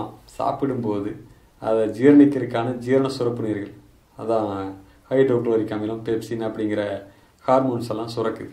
இந்த இது எல்லாமே சுரந்தனா தான் சாப்பிட்டு உணவு நல்லா ஜீரணமாகும். அதே மாதிரி யூரின் போகிறதுக்கான இது அதுக்கும் தனியாக சுரப்பி எல்லாம் இருக்குது ஆண்கள் பெண்களுக்கான ஹார்மோன்கள் புரஜெஸ்ட்ரோன் டெஸ்டிஸ்ட்ரோன் அப்படிங்கிறது நிறைய ஹார்மோன்கள். அதே மாதிரி விந்து. இது எவ்வளவோ விஷயங்கள் சொல்லிகிட்டே போகலாம். நம்ம உடம்பு உற்பத்தி செய்யக்கூடிய விஷயங்கள் இன்க்ளூடிங் சர்க்கரைக்காக சொல்கிறோம் இன்சுலின் அப்படிங்கிற ஒரு ஹார்மோன் அது நம்ம உடம்பு தானே சுரக்குது. அப்போது நம்ம உடம்பு சுரக்காத விஷயங்கள் என்று எதுவுமே இல்லை. அப்படி என்றால் அப்படி என்றால் அப்போ ஏன் நம்ம மனசுக்கு நோய் வருது? இதெல்லாம் உற்பத்தியெல்லாம் நம்ம பார்த்துட்டு வந்தோம். உற்பத்தியில் பிரச்சனை இல்லை. எல்லா மனிதனுக்கும் அது இருக்குது ஏதோ அரிதாக சில பேர்த்துக்கு வந்து இந்த உடலில் வந்து இப்போ கூட சிலருக்கெல்லாம் வந்து type one type two diabetes சொல்கிறாங்கன்னா சர்க்கரை நோயாளிகள். இன்சுலின் சுரப்பது இல்லை. இன்சுலின் முற்றா சுரப்பது இல்லை அப்படிங்கிறதே வந்து பார்த்தீங்கன்னா யாரும் ஒருத்தர் ரெண்டு பேருக்கு தான் அரிதாக இருக்கும். அப்போ கூட அந்த உற்பத்தியை தான் செய்யணுமே ஒழிய அந்த உற்பத்தி நடப்பதற்கான வழிமுறைகள் செஞ்சால் போதும். அதுதான் வைத்தியம். ஆனால் அதை விட்டுட்டு வெளியில் இருந்து ஒரு இன்சுலின் எடுத்துக்கிறதோ டெம்பரவரியாக ஏதாவது ஒரு செல்யூஷன் தேடிக்கிறது மெடிசின் சாப்பிட்றதோ நிரந்தர தீர்வை கொடுப்பதிலே அது மேலும் ஆரோக்கியத்தை கெடுக்கிறதுக்கான வழியை தான் செய்யுது. ஓகே அப்போ ப்ரொடியூசிங் செக்டார் கரெக்டாக இருந்தால் ஒரு மனிதன் கண்டிப்பாக ஆரோக்கியமாக வாழ்வான். அடுத்தது பராமரித்தல் மெயின்டெனன்ஸ் நிறைய பேர் தவறு செய்யக்கூடிய இடமே இதுதாங்க. மெயின்டெனன்ஸ் இருக்கீங்களா பராமரித்தல். இப்போ உடம்பு எல்லாமே நமக்கு உற்பத்தி பண்ணி கொடுத்துட்ருக்கு நம்ம உமிழ்நீர் நம்ம சாப்பிடக்கூடிய உணவை உமிழ்நீர் வந்து அதை நல்லா செரிமானம் பண்ணிக்கிறதுக்கும் சத்துக்களை பிரிக்கிறதுக்காகவும் இன்சைம் அமிலேஸ் இது மாதிரி நிறைய நிறைய உற்பத்தி பண்ணி கொடுக்குது. அப்போது ஒவ்வொன்றுமே உற்பத்தி செய்து கொடுக்குது. எதுக்காக? மனிதன் ஆரோக்கியமாக வாழ்றதுக்காக. நம்ம அதை பராமரிக்கணுமா இல்லையா? ஆனால் நாம் வந்து ஆட்டோமேட்டிக் செக்டாரில் ஒன்று தேவையானப்போ தூங்காமல் தேவையான அளவுக்கு உடம்புக்கு ஓய்வை கொடுக்காம அளவு கடந்து உழைக்கிறது. அளவு அளவு கடந்து உடம்பை வருத்திக்கிறது. அதே மாதிரி சுத்தமான காற்றோட்டத்தை இல்லாமல் இருக்கிறது. ஆட்டோமேட்டிக் செக்டார்லேயும் அதே மாதிரி செல்ஃப் செக்டார்லேயும் நாம் பராமரிப்பதில் தவறு செய்வதால் தான் மனிதனுக்கு ஆரோக்கிய குறைவு வருகிறது. இப்போ நல்லா புரிஞ்சுக்கங்க. நான் சொன்னேன். உடம்பு ப்ரொடியூஸ் பண்ணுது. பராமரிக்கிற வேலையும் உடம்பே பார்த்துக்குது. நம்ம செய்யக்கூடிய வேலைங்கிறது கொஞ்சம் தான். அந்த கொஞ்ச வேலையும் கூட உடம்புக்கு எதிரானதாக இருந்தால் இல்லை உடம்புக்கு எதிரான ஒரு சக்தி உள்ளே செலுத்தக்கூடியதாக இருந்தால் நிச்சயமாக அதிலிருந்து தான் நம்மளுக்கு ஆரோக்கிய குறைவு அப்படிங்கிறது ஆரம்பிக்குது முதல்ல. இதிலிருந்து தான் அடுத்தடுத்த நோய்கள் பெரிதாயிட்டே போயிட்டுருக்கு. ஒரு மனிதன் ஆரோக்கியமாக வாழ்வதற்கான ஏழு படிநிலைகள் பெண்களாக இருந்தால் எட்டு படிநிலைகள். அதை ஒருக்கா பார்த்துருக்குறோம். அப்புறம் மக்களில் வந்து ஒரு மூணு கேட்டகரியாக பிரிச்சிருந்தோம் நோய் எதிர்ப்பு சக்தி அதிகமாக இருக்கிறவங்க. அதாவது உடல் தன்னைத்தானே குணப்படுத்தி கொள்ளக்கூடியவர்கள். உடல் தன்னைத்தானே குணப்படுத்தி கொள்ள வழி இல்லாமல் வேறு மருத்துவ சிகிச்சையில் இருக்கிறவங்க.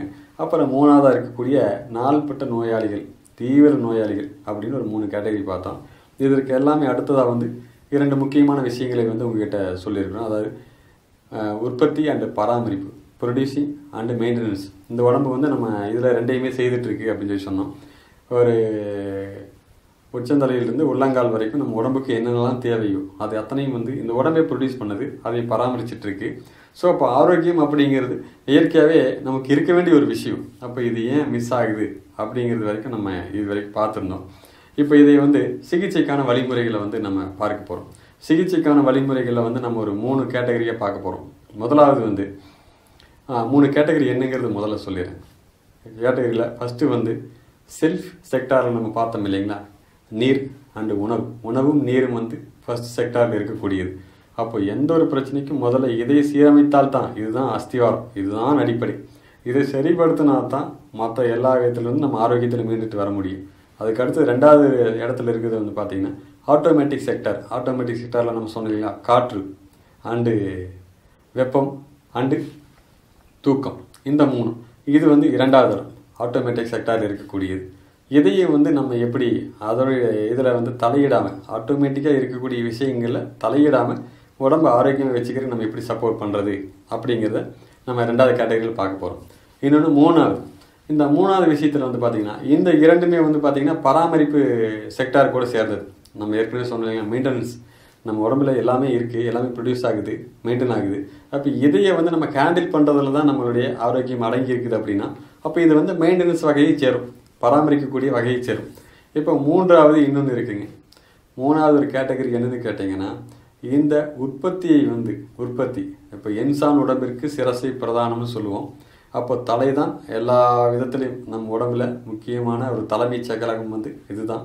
இதிலிருந்து தான் நம்ம உடம்புக்கு தேவையான எல்லா இடங்களுக்கான உத்தரவுகள் பிறப்பிக்கப்படுது. அதற்கான வேலைகள் வந்து நம்ம உடம்புல நடந்துட்டு இருக்கு அப்போது இந்த தலைமைச் செயலகத்தை இயக்குவதற்கு அதை சரி செய்வதற்கு அங்கே உற்பத்தி ஸ்தானத்தையே இந்த சரி பண்ணுறதுக்கான இதுகெல்லாம் வந்து பார்த்திங்கன்னா நம்ம உடம்புலேயே ஒரு முக்கியமான பாயிண்ட்ஸ் இருக்குது அது சாதாரண ஒரு அக்குப்பரிசர் பாயிண்ட் தான். ஆனால் அதை தூண்டுவதற்கு அதை வந்து சரிபடுத்துவதற்கு பழகிட்டோம் அப்படின்னு வச்சுக்கோங்களேன். நம்ம உடம்பை ஆரோக்கியப்படுத்திடலாம். அதாவது ப்ரொடக்ஷன் செக்டாரில் ப்ரொடியூசிங் செக்டார்லேயும் என்னென்னலாம் சிக்கல் இருக்கோ அதையும் நம்ம வந்து நிவர்த்தி பண்ணி நம்ம ஆரோக்கியம் அடைஞ்சிட முடியும். அதற்கு அடுத்ததாக இன்னொரு வழிமுறைகள் இருக்குங்க. நான்காவது வழிமுறை இது வந்து எக்ஸ்ட்ராடினரி எதுன்னு கேட்டிங்கன்னா மனம். இப்போ மனம் சம்மந்தமாக நிறைய விஷயங்களை வந்து நம்ம மனதை சிக்கன பிடி அப்படிங்கிற ஒரு பார்ட்டில் நம்ம வந்து பேசியிருக்கோம். இப்போ மனம் சம்மந்தமான ஆரோக்கியம் உடம்பை தீர்மானிக்குது. ஏன்னா மனித உடம்புல எண்பது சதவீத நோய்கள் வந்து மனக்குழப்பத்தினால மனப்பிரச்சனைகளால் மன அழுத்தத்தினால தான் நடக்குது. அப்போது அதை குணப்படுத்துவதற்கு என்ன பண்ணுறது அப்படிங்கிறத வந்து மனதை சிக்கன பிடி அப்படிங்கிற டைட்டில் நம்ம பேசியிருக்கிறத நீங்கள் பார்த்தீங்கன்னா புரிஞ்சுக்குவீங்க.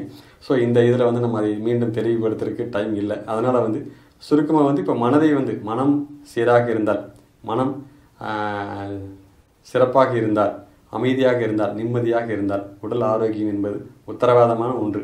அப்போது மனதையும் நாம் சீராக வைத்துக்கிற அந்த நாலாவது கேட்டகரி மூலயமா நம்ம அனைத்திலும் ஆரோக்கியமாக வாழ முடியும். ஆரோக்கியமாக வாழ்வதற்கான வழிமுறைகளை பற்றி நம்ம பே- பேசிட்டு வந்திருக்கு இது வரைக்கும். அதாவது நம்ம உடம்புலேயே இருக்கக்கூடிய உற்பத்தி ஆற்றல் அண்டு பராமரிப்பு ஆற்றல். அப்போ இந்த இரண்டையுமே வந்து சரிவர நிர்வாகம் பண்ணாலே போதும். நமக்கு இருக்கக்கூடிய வேலையை வந்து பார்த்திங்கன்னா ரொம்ப ரொம்ப சுலபமானது. இந்த இரண்டையும் மட்டும் செய்துட்டாலே வந்து நம்ம நூறு பர்சன்ட் ஆரோக்கியம் வாழ முடியும். இது உறுதி. இப்போ நோய் அப்படிங்கிற பட்டியல் எடுத்துட்டிங்கன்னா அஹ், உள்ளங்கால் வரைக்கும் நிறைய சொல்லிகிட்டே போகலாம். அதுலேயும் புதுசு புதுசாக நிறைய பேரெல்லாம் கூட இன்றைக்கி வச்சுட்டு இருக்காங்க மருத்துவ உலகத்தில்.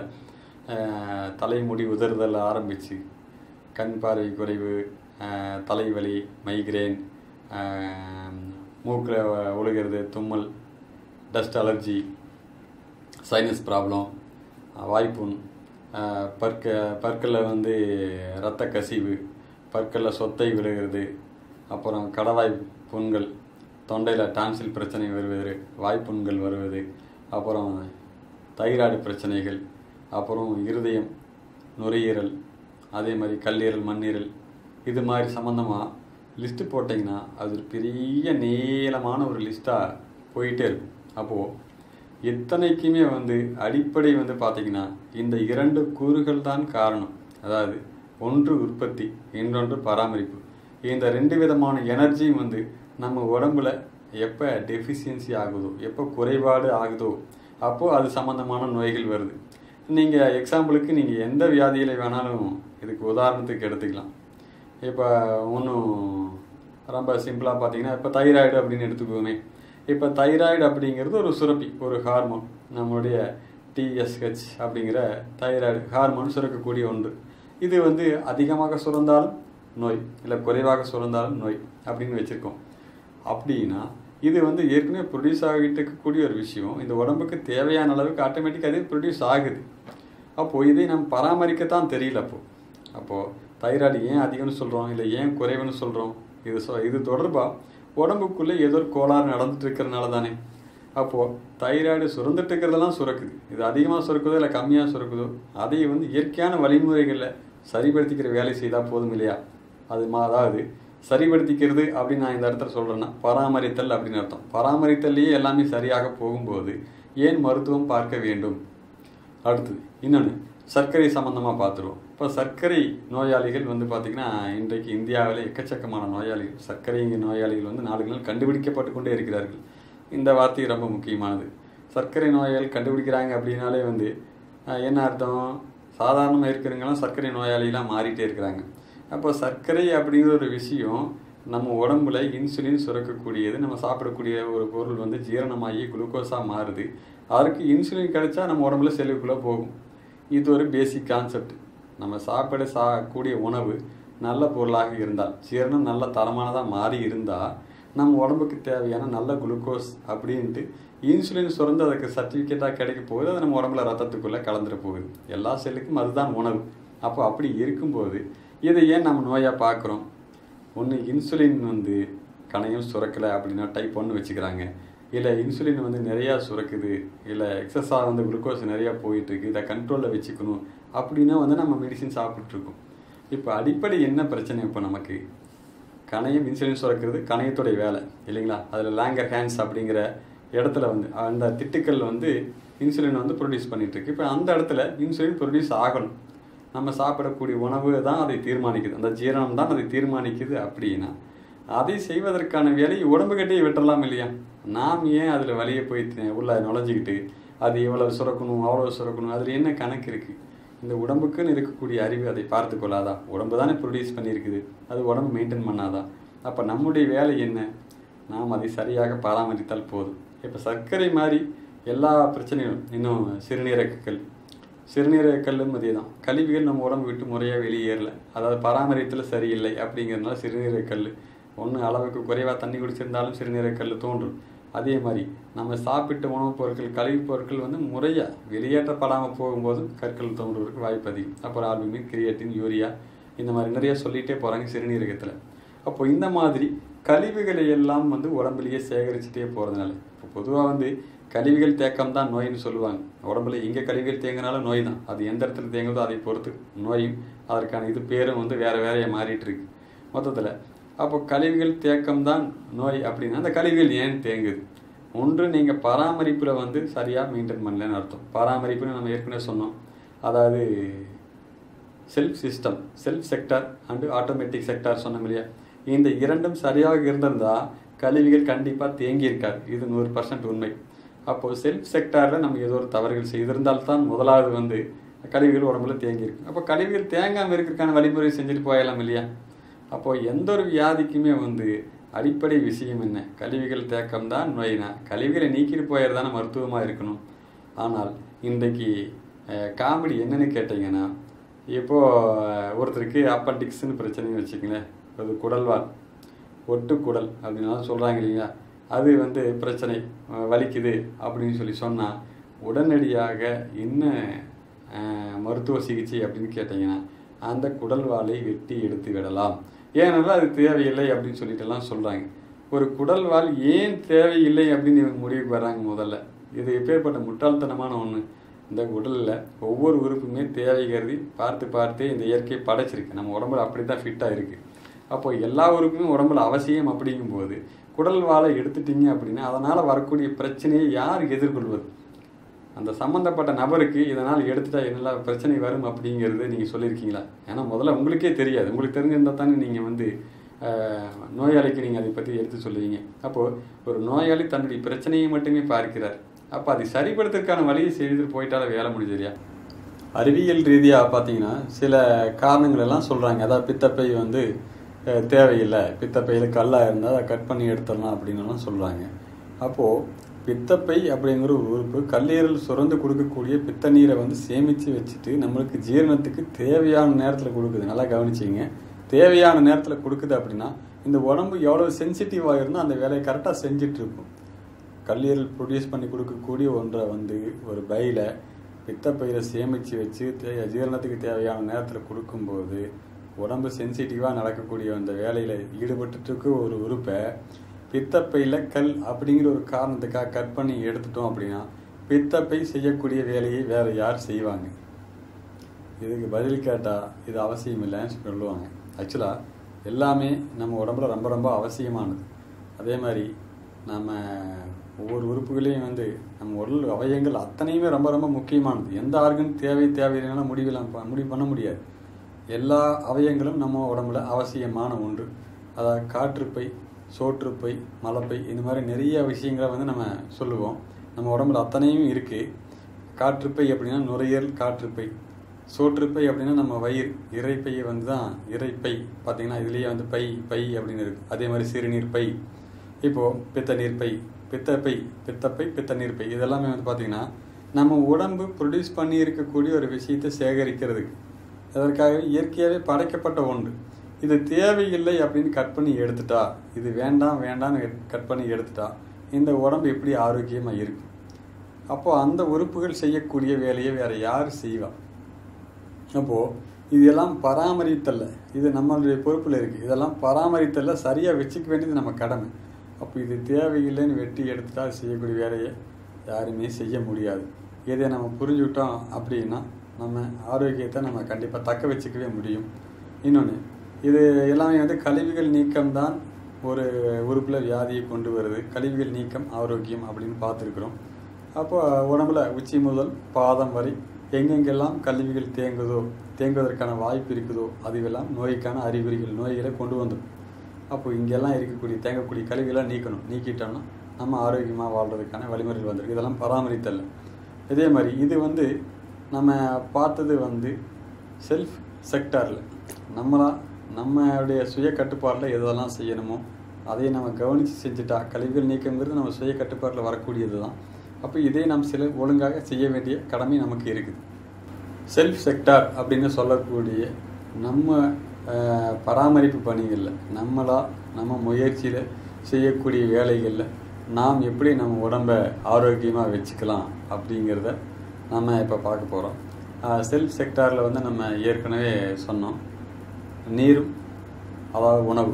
உணவும் நீரும் தான் செல்ஃப் செக்டாரில் நம்மளுடைய கண்ட்ரோலில் இருக்கக்கூடிய ஒன்று. இப்போ உலகத்தில் இருக்கக்கூடிய எல்லா வியாதிகளுமே இந்த இரண்டின் மூலமாகத்தான் அதிகமாக மனிதனுக்கு வந்துட்டுருக்கு.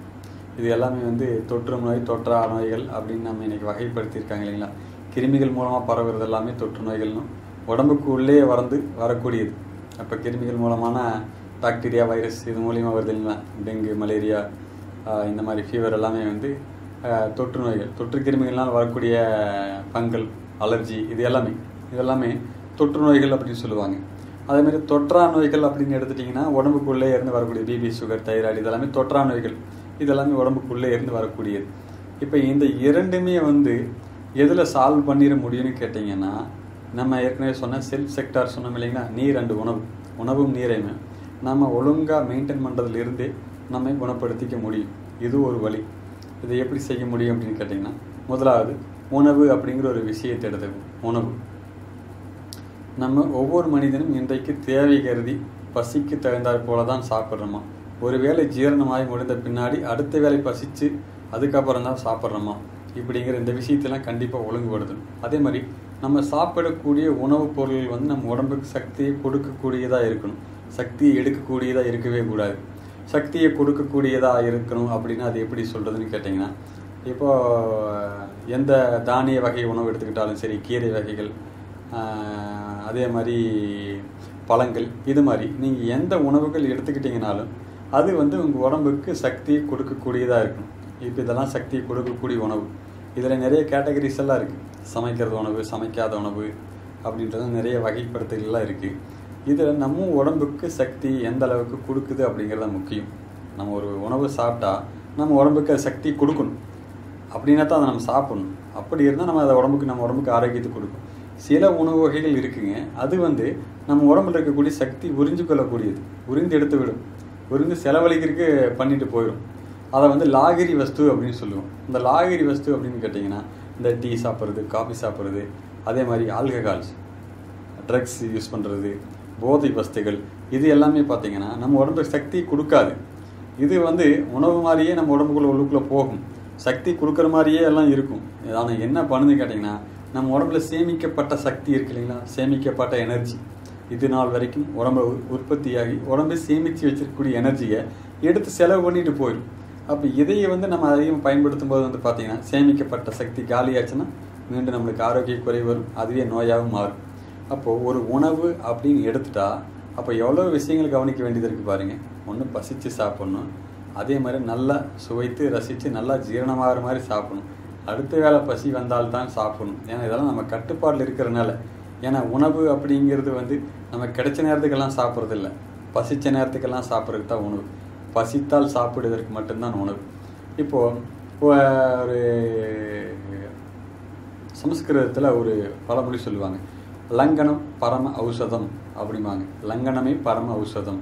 அதாவது உண்ணா நோன்பு அதாவது நீங்கள் சாப்பிடாமல் விரதம் இருக்கிறது உண்ணா நோன்பில் இருந்தீங்க அப்படின்னா அதுவே வந்து சகல வியாதிகளுக்கும் மருந்தாக அமைகிறது. எல்லா வியாதிகளுக்கும் சாப்பிடாமல் இருக்கிறது ஒரு நல்ல மருந்து அப்படின்னா அப்போ ஏற்கனவே சாப்பிட்டதுனால் ஏற்பட்டிருந்த பிரச்சனையாக இருந்தாலும் மற்ற வியாதிகளாக இதுவாக இருந்தாலும் இது எல்லாத்தையும் உண்ணா நோன்பு மூலயமா நம்ம குணப்படுத்திட முடியும் அப்படிங்கிறது தானே கணக்கு. அப்போது இப்போ நம்மளுடைய செல்ஃப் செக்டாரில் இருக்கக்கூடிய உணவுனால் வரக்கூடிய பிரச்சனைகள் எதுவாக இருந்தாலும் இல்லை மற்ற எதனால் வந்த அந்த பிரச்சனையாக இருந்தாலும் இப்போ சாப்பாட்டை நிறுத்துவது அப்படிங்கிறது சாப்பாட்டை கட் பண்ணிட்டு விரதம் இருக்கிறது மூலியமாகவும் நம்ம உடம்பை குணப்படுத்திக்க முடியும்.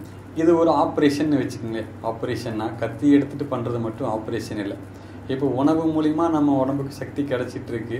இல்லை உணவு மூலிமா ஒரு குறிப்பிட்ட உணவுனால் நம்ம உடம்புக்கு ஒரு நோய் ஏற்பட்டுருச்சு அப்படின்னா கூட அதே குறிப்பிட்ட உணவை வந்து கொஞ்ச காலத்துக்கு வந்து தவிர்த்துட்டு கொஞ்சம் ரெண்டு மூணு நாட்களுக்கு அல்லது ஒரு வேளை உணவை தவிர்த்துட்டாலும் அது ஒரு சின்ன ஆப்ரேஷன் சின்ன ஒரு குணப்படுத்தலுக்கான ஒரு வழி. இப்போ இதை செய்துட்டோம் அப்படின்னா உணவு சார்ந்து அதாவது செல்ஃப் செக்டாரில் இருக்க ஏற்படக்கூடிய பிரச்சனைகள் ஒன்றை நம்ம வந்து சரிப்படுத்திட முடியும். அப்போ சாப்பிடாமல் இருக்கிறது மூலியமாகவும் உடம்பை குணப்படுத்திக்க முடியும். தேவைக்கு பசித்து சாப்பிட்றதுனாலையும் நம்ம உடம்புக்கு சக்தி கொடுக்கக்கூடிய பொருளை சாப்பிட்றனாலே நம்ம உடம்பை குணப்படுத்திக்க முடியும். இது வந்து செல்ஃப் செக்டாரில் நம்ம சாப்பாடு சம்மந்தமாக நம்ம பார்க்கக்கூடிய ஒரு பகுதி. அடுத்தது செல்ஃப் செக்டார்லேயே இன்னொன்று இருக்குது இல்லைங்க தண்ணீர். குடிநீர். நம்ம குடிக்கிற தண்ணி இல்லை குளிக்கிற தண்ணி நம்ம உபயோகப்படுத்திக்கக்கூடிய எல்லாமே இந்த தண்ணீரையும் வந்து நமக்கு சக்தி கொடுக்கக்கூடியதாகவே வந்து இருந்ததுனா தான் நமக்கு ஆரோக்கியம். இந்த குடிக்கக்கூடிய திரவம் வந்து இப்போ கூல்ட்ரிங்க்ஸ் எல்லாம் இருக்குது இல்லைங்களா? ஆக்சுவலாக அது நீரமம் தான் திரவ வடிவத்தில் தான் இருக்குது ஆனால் அது எல்லாமே நம்முடைய சக்தியை உறிஞ்சிட்டாம் வெளியில் போகும். லாகிரி வசதிகள் கூட சேர்ந்தது அது எல்லாமே. நம்ம உடம்புக்கு சக்தியை கொடுக்காது. அப்போ சுத்தமான தண்ணீர் எதுன்னு கேட்டிங்கன்னா நம்ம ஆறு ஏரி குளம் இந்த மாதிரி இடங்கள் எல்லாம் இருக்குது இல்லைங்களா? கிணற்று நீர் ஆற்று நீர். இந்த மாதிரி தண்ணீர் மட்டும்தான் நம்ம உடம்புக்கு சுத்தமான தண்ணியை இந்த சக்தியை கொடுக்கும். மற்ற எல்லாமே இந்த மினரல் வாட்டரோ ஆரோ வாட்டரோ ஃபில்ட்ரு பண்ணிட்ட எந்த தண்ணீருமே. தண்ணியிலிருந்து சக்தி உறிஞ்சாச்சு அப்படின்னாலே அந்த தண்ணீர் நம்ம உடம்புக்கு சக்தியை கொடுக்காது. வேணும்னா சக்தி வேணால் எடுத்துகிட்டு வெளியில் போகும் அப்போது வெறுமனே யூரினாக தான் அந்த நம்ம உடம்புல உள்ளுக்குள்ளே போய் வெளியில் போகக்கூடிய ஒரு தண்ணீரை வந்து சக்தி உள்ள தண்ணீராக நம்ம குடிச்சிட்டா தான் சக்தி உள்ள நீராக பயன்படுத்தினா தான் நம்ம ஆரோக்கியமாக வாழ்வோம். அப்படின்னா தண்ணீருக்குன்னு நம்ம சேம் இதே வந்து முக்கியத்துவம் கொடுக்கணும். அப்போ செல்ஃப் செக்டாரில் வந்து பார்த்திங்கன்னா இந்த ரெண்டையும் நம்ம எந்த அளவுக்கு புரிஞ்சுக்கிட்டு தேவைக்கு பயன்படுத்துகிறோமோ அதே மாதிரி தண்ணி பற்றி சொல்லும்போது இன்னொரு முக்கியமான விஷயத்தையும் சொல்லணுங்க. தேவைக்கு தாகம் இருந்தால் தான் குடிக்கணும். சில பேர் வந்து பார்த்திங்கன்னா எப்போ பார்த்தாலும் தண்ணி நிறைய குடிச்சிக்கிட்டே இருப்பாங்க. தண்ணி நிறைய குடித்தா குடல் சுத்தமாயிரும்னு அவங்களா ஒரு கணக்கு போட்டுட்டு இருக்காங்க. அப்படி கிடையாது. தண்ணீர் நிறைய குடித்தீங்க அப்படிங்கன்னா இந்த உடம்பு அதையில் சுத்திகரிக்கிற வேலையில் இறங்கி இறங்கியே வந்து பலவீனமாகுமே தவிர உடம்பு ஆரோக்கியமெல்லாம் ஒன்றும் கிடைக்காது. நீங்கள் மாதத்தில் ஒரு நாள் இல்லை மாதத்தில் ரெண்டு நாள் வெறும் தண்ணீர் மட்டுமே குடிச்சிட்டு விரதம் இருக்கலாம். தண்ணீர் விரதம். நம்ம ஏற்கனவே உணவு சம்மந்தமாக சொல்லும்போது சொன்னோம் இல்லைங்களா? உண்ணா நோன்பு. அதே மாதிரி தண்ணீர் மட்டுமே குடிச்சிட்டும் வந்து விரதம் இருக்கலாம். தண்ணீர் விரதம். தண்ணீர் விரதத்தினால வந்து பார்த்தீங்கன்னா ஏகப்பட்ட நன்மைகள் உடம்புக்கு கிடைக்கும். சாப்பாடு சாப்பிட்டு சாப்பிட்டு ஜீரண மண்டலம் பலவீனம் அடைஞ்சிருந்ததுன்னா அதை நிறுத்தி வச்சுட்டு தண்ணீர் மட்டுமே கொஞ்ச நாளைக்கு குடிச்சிட்டு இருந்தீங்க அப்படின்னா தண்ணீர் மட்டுமே தேவையானப்போ அது தண்ணீர் மட்டும் குடிக்கிறதுனா அதுக்காக நிறைய குடிக்கிறன்னு அர்த்தம் இல்லை. தண்ணீர் மட்டுமே தேவை கருதி சத்துள்ள நீராக குடிச்சிட்டு இருந்தீங்க அப்படின்னா மற்றபடி உங்கள் உடம்புல இருக்கக்கூடிய அனைத்து வியாதிகளையும் இதுவே குணப்படுத்தும். தண்ணீர் மருத்துவம்னே தனியாக இருக்குங்க. அது ஒரு தனி செக்டர் அப்போ தண்ணீரை கொண்டு நம்ம உடல் வியாதிகள் அத்தனையுமே குணப்படுத்த முடியும். இது எல்லாமே செல்ஃப் செக்டாரில் நம்ம இப்போ சொன்னோம் இல்லைங்களா? இரண்டு முக்கியமான விஷயங்கள். தண்ணீரும் உணவும். ரொம்ப ரொம்ப முக்கியமான விஷயம். ஒரு கட்டிடத்துக்கு அஸ்திவாரம் போன்றது. இதை சரிப்படுத்தாமல் இந்த ரெண்டையும் சரிப்படுத்தாமல் ஒரு மனிதனை ஆரோக்கியப்படுத்துறதுங்கிறது முடியவே முடியாது. ஒரு சித்த மருத்துவத்தை எடுத்துட்டீங்க அப்படின்னு கேட்டிங்கன்னா ஒரு மருந்துகள் ஒரு மூலிகைகள் எல்லாம் கொடுக்கும்போதே வந்து சொல்லுவாங்க. அதுக்கு சில பத்திய முறைகள் எல்லாமே சொல்லுவாங்க. இந்த இந்த உணவுகளை சேர்க்கணும் எந்த உணவுகளை சேர்க்கக்கூடாது அப்படின்னு ஒரு பட்டியலெல்லாம் கொடுப்பாங்க. எதற்காக கேட்டிங்கன்னா ஆயுர்வேதத்துலையும் யுனானிலையும் எல்லா மருத்துவத்துலேயுமே இருக்குது அதாவது அவங்க மருத்துவ முறைகளில் கொடுத்துருக்கிற மருந்து உங்கள் உடம்புல வேலை செய்யணும் அப்படின்னா அதை எதிர்த்து அந்த சக்தியை சிதைக்காத அளவுக்கு அந்த அந்த சக்தியெல்லாம் சிதைச்சிருச்சு அப்படின்னா அந்த மருந்து வேலை செய்யாது. ஸோ அதற்காக பத்திய முறைகள் எல்லாமே சொல்லுவாங்க. அப்போது ஒரு உணவு உடம்புக்கு சக்தியை கொடுக்கறதா இருக்கணும். இல்லை அதற்காக வழங்கப்பட்டிருக்கிற மருத்துவத்துக்கு உறுதுணை செய்வதாக இருக்கணும். அப்படிப்பட்ட உணவு மட்டும்தான் நமக்கு ஆரோக்கியத்தை கொடுக்குது. அதை நம்ம பார்க்குறோம். அதே மாதிரி நீரும் அப்படி தான் ரொம்ப கொதிக்க வச்சுட்டிங்கனாலும் அதில் ஒரு பிரயோஜனமே இல்லை. நீரே வந்து பார்த்திங்கன்னா மூலிகைகளெல்லாம் கஷாயமாக பண்ணுவாங்க. மூலிகை கஷாயமெல்லாம் பண்ணி அந்த தண்ணீரே வந்து சாதாரண தண்ணீரே வந்து மூலிகைகள்லாம் சேரும்போது அதிக வீரியம் உள்ள அதிக சத்துள்ள நீராக மாறுது நல்லா புரிஞ்சுங்க. அதிக சத்து உள்ள எனர்ஜி வந்து அதில் எக்ஸ்ட்ராவாக எக்ஸ்ட்ராக்டாக எனர்ஜியாக வந்து அது மாறிடுது. ஸோ அப்போ உங்கள் உடம்புல இருக்கக்கூடிய பிரச்சனைகள் ரொம்ப எளிதாக தீர்க்கிறது. அப்போது உடலில் வந்து எந்த இரண்டுமே வந்து நம்ம கண்ட்ரோலில் இருக்குது அப்படின்னா இதை பயன்படுத்தக்கூடிய முறைகளிலேயே வந்து நம்ம ஆரோக்கியமாக வாழ முடியும். உணவை எப்படி பயன்படுத்தணும்? தேவை கருதி எப்படி பயன்படுத்தணும்? நீரை தேவை கருதி எப்படி பயன்படுத்தணும்? பராமரிக்கணும் அப்படிங்கிறத புரிஞ்சிட்டோம்னா செல்ஃப் செக்டாரில் இருக்கக்கூடிய விஷயங்களை புரிஞ்சிட்டோம் அப்படின்னு வச்சுக்கோங்களேன். இதை பராமரிக்கக்கூடிய வழிமுறையில் கையாண்டுட்டோம்னா நாம் ஒரு பாதி ஆரோக்கியத்தை நாம் அடைந்து விடலாம். இன்னொரு முக்கியமான விஷயங்க. இப்போது ஒருத்தர் வந்து நீண்ட நாள் வந்து ஆஸ்துமா சைனஸ் இது மாதிரி பிரச்சனைகளில் பாதிக்கப்பட்டிருக்கிறாருன்னு வச்சுங்களேன். நுரையீரல் சம்மந்தமான ஒரு பிரச்சனையில் பாதிக்கப்பட்டிருக்கார் அப்படின்னா அவருக்கு வந்து ஆக்சுவலாக ஆஸ்துமா சைனஸ் நுரையீரல் இது எல்லாமே வந்து ஆட்டோமேட்டிக் செக்டார் நம்ம பார்த்தோம் இல்லைங்களா அதெல்லாம் இயல்பாக தன்னிச்சையாகவே நடக்கக்கூடிய ஒரு விஷயம். ஆட்டோமேட்டிக் செக்டாரில் நுரையீரல் அதாவது காற்று சுவாசிக்கிறது சம்மந்தமான ஒரு பிரச்சனை பாதிக்கப்பட்டிருந்தாலும் அவருக்கும் இந்த உணவும் இந்த நீரும் சம்பந்தமான பராமரித்தல் ஒழுங்குபடுத்தினால்தான் ஆஸ்துமா பிரச்சனையிலேருந்து அவரை விடுபட்டு கொண்டுட்டு வரவே முடியும். எப்படி? இப்போ சில இதுகள்லாம் பார்த்தீங்கன்னா ஆட்டோமேட்டிக் செக்டார் தான். நுரையீரல் சம்மந்தமாக சுவாசம் சம்மந்தமான பிரச்சனைகள் எல்லாமே ஆட்டோமேட்டிக் செக்டார் இருந்தாலும் இப்போது உணவுகளை வந்து நீங்கள் அதிகப்படியான குளிர்ச்சி உள்ள உணவுகள் எடுத்துட்டீங்கன்னு வச்சுங்களேன் இப்போ நுரையீரல் சார்ந்த பிரச்சனையை குணப்படுத்த முடியாது. கீரை எல்லாம் எடுத்துக்கிட்டாங்கன்னா ஆஸ்துமா பேஷண்ட்களுக்கு ஆகாது. இப்போது ஏற்கனவே குளிர்ச்சி கீரை ஒரு குளிர்ச்சியாக இருக்கும்போது வந்து பார்த்தீங்கன்னா அந்த நோயின் தாக்கத்தை அதிகப்படுத்திக்கிட்டே போகும்.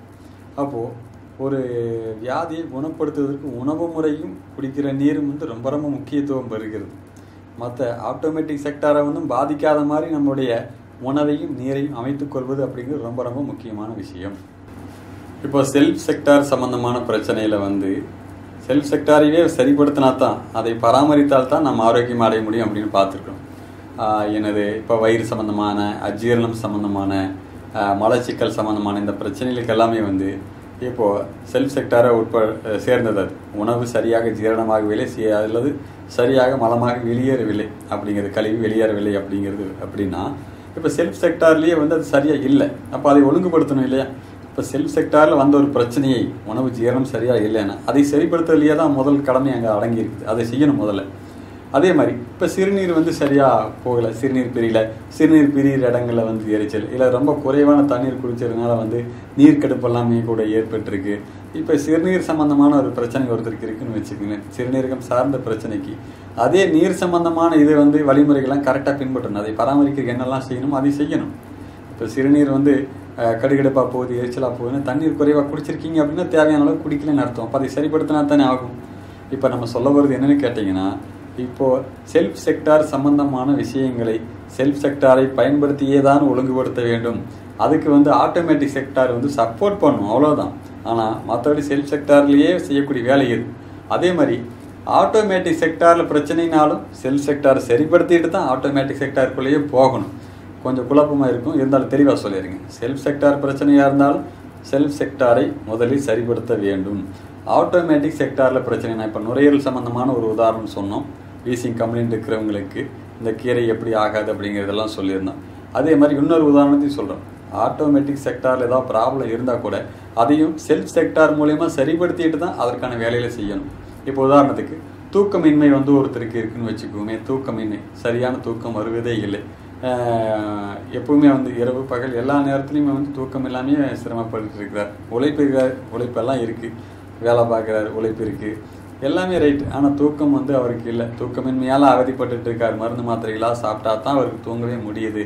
அப்படின்னா அவருக்கு முதலாவது என்ன செய்யணும்னு தெரியுங்கன்னா இந்த செல்ஃப் செக்டாரில் வந்து அவருடைய உணவு முறைகளில் எதுவும் தவறு இருந்ததுனால் இப்போ பசிக்காமல் சாப்பிட்டு இருக்காரு. சும்மா நேர நேரத்துக்கு சாப்பிட்டு சாப்பிட்டே உடம்ப வருத்திக்கிட்டு இருக்கார். ஜீரண மண்டலத்தை மந்தப்படுத்தி வச்சிருக்கிறார் அப்படின்னாலோ இல்லை சிறுநீரகத்தை சிறுநீரக மண்டலத்தை எல்லாம் பாதிப்படைகிற மாதிரியான நடவடிக்கைகளில் இருக்கிறார் அப்படின்னாலோ இந்த ரெண்டையும் சரிப்படுத்தணும். இன்னொரு விஷயம் இருக்குங்க. தூக்கத்தை தூண்டுவதற்கான வழிமுறைகள் அப்படிங்கிறது இந்த ரெண்டு செக்டாரில் இருக்குது அதாவது செல்ஃப் செக்டார்லேயே இருக்குது ஒன்று வந்து உணவு இருக்கு இல்லைங்க உணவுலேயே தூக்கத்தை ஏற்படுத்துவதற்கான உணவு முறைகள் நிறைய இருக்குது அதுக்கான லிஸ்ட்டாக இருக்குது அதே மாதிரி மிதமான சூழலில் பானங்கள் இருக்கு இல்லைங்களா? நீர் சம்மந்தமான இதில் மிதமான சூழலில் மூலிகை பானங்கள் இருக்குது ஒரு பால் கூட சாதாரணமாக ஒரு நாட்டு மாட்டு பால் கூட லேசாக சூடுபடுத்தி குடிச்சிட்டோம் அப்படின்னா தூக்கத்தை நல்லா வரவழைக்கும். கசகசாவை வந்து சூடுபடுத்தி அதாவது பாலில் கலந்து சூடுபடுத்தி குடிக்கும்போது தூக்கத்தை வரும் இது மாதிரி ஏராளமான வழிமுறைகள் இருக்குது இது எல்லாமே தூக்கம் அப்படிங்கிற ஆட்டோமேட்டிக் செக்டாரில் ஏற்படக்கூடிய பிரச்சனையை செல்ஃப் செக்டாரில் நம்ம சரி பண்ணும்போதே அது நடந்துருது. ஒரு பிரச்சனையை கிளியர் பண்ணிட முடியுது அப்படிங்கிறதுக்கான இது உதாரணம். அப்போ பேசிக்காக என்ன இருக்குதுன்னு கேட்டிங்கன்னா உணவும் நீரும் ரொம்ப ரொம்ப முக்கியத்துவம். அதை ஒழுங்குபடுத்திக்கிட்டால் மற்ற விஷயத்தை ஒழுங்குபடுத்திடலாம். ஓகே. இந்த இரண்டு இல்லாமல் இப்போ வந்து செல்ஃப் செக்டாராக பார்த்துட்டோம். செல்ஃப் செக்டாரில் வந்த பிரச்சனைக்கும் அதை சரிபடுத்தினால்தான் ஒழுங்காகும். ஆட்டோமேட்டிக் செக்டாரில் பிரச்சனை இருந்தாலும் முதல்ல செக் செல்ஃப் செக்டாரில் ஒழுங்குபடுத்திட்டு இந்த பிரச்சனையை இங்கே இருக்கக்கூடிய அளவில் இதெல்லாம் சரிப்படுத்த முடியுமோ? அதற்கு சக்தி கொடுப்பதற்கான வழிகள் என்னெல்லாம் உண்டோ? அதையெல்லாம் செஞ்சுட்டோம் அப்படின்னா ஆட்டோமேட்டிக் செக்டார் வந்து ஒழுங்காகும். மேற்கொண்டு தேவையாக இருந்ததுன்னு வச்சுக்கலேன் இப்போது ஆட்டோமேட்டிக் செக்டாரில் வந்து செல்ஃப் செக்டாரோட வேலைகள்லாம் செய்து முடிச்சதுக்கப்புறம் அதில் இருக்கும் ப்ராப்ளத்தை வந்து நம்ம எப்படி சரி பண்ணுறது அப்படிங்கிறத நம்ம பார்ப்போம். உதாரணமாக இப்போ நுரையீரல் சம்மந்தமான ஒரு பிரச்சனையை பார்த்து இல்லைங்களா ஒருத்தருக்கு கபம் சளி இதெல்லாம் நிறைய கட்டியிருக்கு நிறைய கோர்த்துருச்சு. அவ்வளவு அவதிப்பட்டுட்டு இருக்கிறார் செல்ஃப் செக்டாரில் நம்ம ஏற்கனவே சொன்ன மாதிரி எல்லாம் வழிமுறைகள்லாம் பின்பற்றி கரெக்டாக செஞ்சுட்டு இருக்கிறார். எல்லாமே பண்ணுறார் இருந்தாலும் அவருடைய சளி பிரச்சனைகளோ வீசிங் பிரச்சனைகளோ தீரலை அப்படின்னா இப்போ வந்து அவருக்கு மேற்படியாக அடுத்த லெவலில் வந்து சில சிகிச்சை முறைகள்லாம் தேவைப்படும். எப்படி? மூச்சு பயிற்சி செய்யலாம். இப்போ நுரையீரலுக்கு வந்து அங்கே தேங்கி இருக்கிற கழிவுகளை நீக்குவதற்கு மூச்சு பயிற்சி அப்படிங்கிறது ரொம்ப ரொம்ப சிறந்த ஒன்று இதை பண்ணினா அப்படி அவருடைய நுரையீரலில் இருக்கக்கூடிய பிரச்சனைகள்லாம் நீங்கிடும் அதே மாதிரி காற்று இருக்கு இல்லைன்னா சுத்தமான காற்று இருக்கக்கூடிய இடங்களில் வந்து அவர் அதிக நேரம் ஸ்பெண்ட் பண்ணினார் அப்படின்னா அது நுரையீரல் சம்மந்தமான பிரச்சனைகள் நீங்கிடும் இருக்கிறதுலே வந்து ஒன்றரை மடங்கு நல்ல சுத்தமான காற்றை வழங்கக்கூடியது அரச மரம். இப்போ நுரையீரல் பிரச்சனையில் பாதிக்கப்பட்டவர் வந்து அரச மரத்தடியில் எவ்வளோ நேரம் இருக்க வைக்கிறோமோ அவருடைய நுரையீரல் பிரச்சனை ரொம்ப சீக்கிரம் நீங்கிடும் இது ஒரு சிம்பிள் டெக்னிக் அதாவது ஆட்டோமேட்டிக் செக்டாரில் செய்யக்கூடிய ரொம்ப சின்ன வேலை. அதே மாதிரி இப்போ உடல் உஷ்ணம் தேவையான அளவுக்கு இல்லாதனால ஒருத்தருக்கு பேராலிஸ் அட்டாக் ஆயிடுச்சு. இது வந்து ஆட்டோமேட்டிக் செக்டாரில் இருக்கக்கூடிய ஒரு பிரச்சனை. இப்போ பேராலிஸ் எல்லாம் வந்து பார்த்தீங்கன்னா சில பேருக்கு மூளையில் ரத்த கசிவு வந்ததுனால பேராலிஸ் வந்துருச்சு இல்லை தலையில் அடிபட்டதுனால இப்படியெல்லாம் சொல்கிறாங்க ஏதோ ஒரு காரணத்தினால அவர் இந்த பேராலிஸ் பாதிப்பில் வந்து பா இருக்கிறார் அப்படின்னா ஒரு பக்கம் ஒரு கையோ காலோ பாதிக்கப்பட்டு இருப்பார். உடம்புல பார்த்தீங்கன்னா மற்ற இடங்கள்லாம் உடல் சூடு வந்து ஒரு மாதிரி இருக்கும். டெம்பரேச்சர் நார்மலாக இருக்கிற மாதிரி இருக்கும். எந்த இடம் அட்டாக் ஆகி பாதிச்சிருக்கோ அந்த இடமெல்லாம் பார்த்திங்கன்னா ஐஸ் மாதிரி நம்ம விருத்து போயிருக்கும். அந்த இடங்கள்ல ரத்த ஓட்டமே இருக்காது. ரொம்ப மைல்டாக இருக்கும். அவருடைய இரத்த குழாய்களாகட்டும் நரம்புகளாகட்டும் எல்லாமே மரத்து போயிருக்கும். எல்லாமே பிளட் சர்க்குலேஷனே இல்லாதனால வந்து பார்த்திங்கன்னா மரக்கட்டை போல் இருக்கும் அப்போது நல்லா இயக்கம் உள்ள ஒரு பகுதிக்கும் இயக்கம் இல்லாத ஒரு பகுதிக்கும் அவ்வளோ வித்தியாசத்தோட அந்த பேஷண்ட் இருப்பார். அப்போ அப்படின்னு அவருக்கு என்ன பண்ணணும்னு கேட்டிங்கன்னா ஏற்கனவே சொல்லியிருக்கிற செல்ஃப் செக்டாரில் அவரை சரி பண்ணுறதுக்கான உணவு முறைகளையும் குடிநீர் இதுலேயும் வந்து அவரை பார்த்து சரிப்படுத்தணும். அவருடைய டெம்பரேச்சரை ஈக்குவல் பண்ணிக்கிறதுக்கான வேலையை செய்யணும். அப்போ டெம்பரேச்சர் ஈக்குவல் பண்ணிக்கிறதுக்கான நீர் சம்மந்தமான அதுக்கான மூலிகை கஷாயமெல்லாம் கொடுத்து உடல் சூட்டை தூண்டுவதற்காக அந்த ரத்த ஓட்டத்தை சீராக்குவதற்கான வேலைகளை செய்யணும். உணவு முறைகளையும் அதே மாதிரி. இதெல்லாம் ஒரு பக்கம். இது ஸ்டார்டிங்கில் செஞ்சிடணும். இதுக்கப்புறம் இந்த ஆட்டோமேட்டிக் செக்டாரில் நம்ம செய்யக்கூடிய வேலை என்ன அப்படின்னு கேட்டிங்கன்னா அந்த ரத்த ஓட்டம் சீராக இல்லாத இடங்களில் வந்து அதை மீண்டும் சீர்விடுவதற்கான இப்போ அக்குபஞ்சர் புள்ளிகள்னு சொல்லுவாங்க. அக்குபஞ்சர் முடித்தவங்க அதை செய்வாங்க. அதே மாதிரி மசாஜ் தெரப்பி இருக்குது அதே மாதிரி நியூரோ தெரப்பி இது மாதிரிலாம் பார்த்தீங்கன்னா இது ஒரு மருந்து இல்லாத மருத்துவம். இதுவும் ஒரு சூட்சமமான மருத்துவம். இது வந்து என்ன சொல்கிறது உணவோ நீரோ மருந்துகளோ எதுவுமே இல்லாமல் இப்போ சம்மந்தப்பட்ட பாதிக்கப்பட்ட இடங்களில் இல்லை அதற்கு வந்து மூல காரணமாக உள்ள இடங்களில் வந்து சிகிச்சை கொடுத்து அந்த பாதிக்கப்பட்ட இடத்துக்கும் வந்து ரத்த ஓட்டத்தை வெப்ப ஓட்டத்தை ஈக்குவல் செய்வதற்கான ஒரு வந்து சிகிச்சையை அங்கே கொடுப்பாங்க. அதை கொடுத்துட்டோம் அப்படின்னா அவர் மீண்டும் வந்து நார்மல் ஸ்டேஜுக்கு அவர் வந்து வந்துடுவார் அப்போது வெப்ப ஓட்டம் சரியில்லாமல் இருக்கிற ஒரு ஆட்டோமேட்டிக் செக்டார்லேயும் வேலை செய்யிருக்கு பேசிக்கை முடிச்சுட்டு தான் இப்போ அட்வான்ஸுக்குள்ளே வரும். அட்வான்ஸ்லேயே அவருக்கு என்ன சிகிச்சை அந்த இடத்துக்கு தேவைப்படுதோ அதை கொடுத்துட்டால் அவரும் ஆட்டோமேட்டிக்காக அந்த அட்டாக்லேருந்து பேராலிஸ் அட்டாக் ஒரு பகுதி செயலிழப்பிலிருந்து அவர் மீண்டு வருவதற்கான வாய்ப்புகள் அதிகம். செல்ஃப் செக்டார் ஆட்டோமேட்டிக் செக்டார் இந்த இரண்டு மூலமாக வந்து நம்ம ஆரோக்கியமாக நாம் இருக்கிறதுக்கு நம்ம ஆரோக்கியப்படுத்திக் கொள்வதற்கு என்னெல்லாம் செய்யலாம் அப்படிங்கிறத வந்து நம்ம பார்த்துருக்கோம் இப்போ செல்ஃப் செக்டார்லேயும் ஆட்டோமேட்டிக் செக்டார்லேயும் வந்து நம்ம பார்த்தது வந்து ஒரு பராமரிப்பு பண்ணி தான் நம்ம உடம்பை எப்படி ஆரோக்கியமாக பராமரிக்கலாம்னு தான் பார்த்துருக்குறோம். அப்போது இங்கேருந்து சக்தி உற்பத்தி இருக்கு இல்லைங்களா? இந்த உடம்பு மு- முழுவதும் இருக்கக்கூடிய சக்தி எனர்ஜி ஆற்றலை பராமரிக்கிறது. ஆரோக்கியத்தை பராமரிக்கிறது மட்டும்தான். இது ஒரு பாதின்னு வச்சுங்களேன் நம்ம பார்த்தது ஒரு பாதி. அப்போது இங்கே இருக்கக்கூடிய நம்ம உடம்புடைய ஆரோக்கியம் அப்படிங்கிறது வந்து சக்தி உற்பத்தியிலையும் இருக்கு இல்லையா?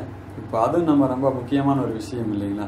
இப்போ அதுக்கு மட்டுமே வந்து பார்த்தீங்கன்னா அது பெரிய கடல்னு சொல்லணும். சக்தி உருவாக்கம் அப்படிங்கிறது நம்ம உடம்புக்குள்ளே எப்படியெல்லாம் நடக்குது அப்படிங்கிறது அது ஒரு மிகப்பெரிய ஒரு சயின்ஸ் கிளாஸ் இப்போ இந்த இடத்துல நம்மளுக்கு அது வேண்டியதில்லை. நம்ம ரொம்ப சிம்பிளாக ஷார்ட்டாக அதை பார்க்க போகிறோம் நம்ம உடம்புல வந்து சக்தி உருவாக்குவது அப்படிங்கிறது இந்த பஞ்சபூதங்கள்லேருந்து தான் நம்ம உடம்புக்குள்ளேயும் சக்தி வந்து கிரியேட் ஆகிட்டு இருக்கு. அதுக்கு வந்து நம்ம உடம்புல ஆதார சக்கரங்கள் நம்ம ஏற்கனவே சொன்னோம். ஆதார சக்கரங்கள் மாதிரி ஒவ்வொரு செல்களுக்குள்ளேயும் வந்து அந்த இன்கரண்ட் எனர்ஜி சக்தியை வந்து ப்ரொடியூஸ் பண்ணக்கூடிய ஆற்றல் நம்ம உடம்புல ஒவ்வொரு செல்லுக்குமே அந்த இது வந்து ஆற்றல் இருந்துகிட்டே இருக்குது இப்போ இந்த ஆற்றல் இந்த செல்கள்கிட்ட இருக்கக்கூடிய ஆற்றலை வந்து ஒவ்வொரு செல்லுக்குள்ளேயும் ஸ்ப்ரெட் அவுட் ஆகிட்டே இருக்குது இந்த ஒவ்வொரு செல்லுமே வந்து எதனுடைய கட்டுப்பாட்டில் இருக்குன்னு கேட்டிங்கன்னா சுரப்பிகள் அப்படின்னு சொல்லுவோம். அதாவது நாளமுள்ள சுரப்பிகள் அண்டு நாளமில்லா சுரப்பிகள்.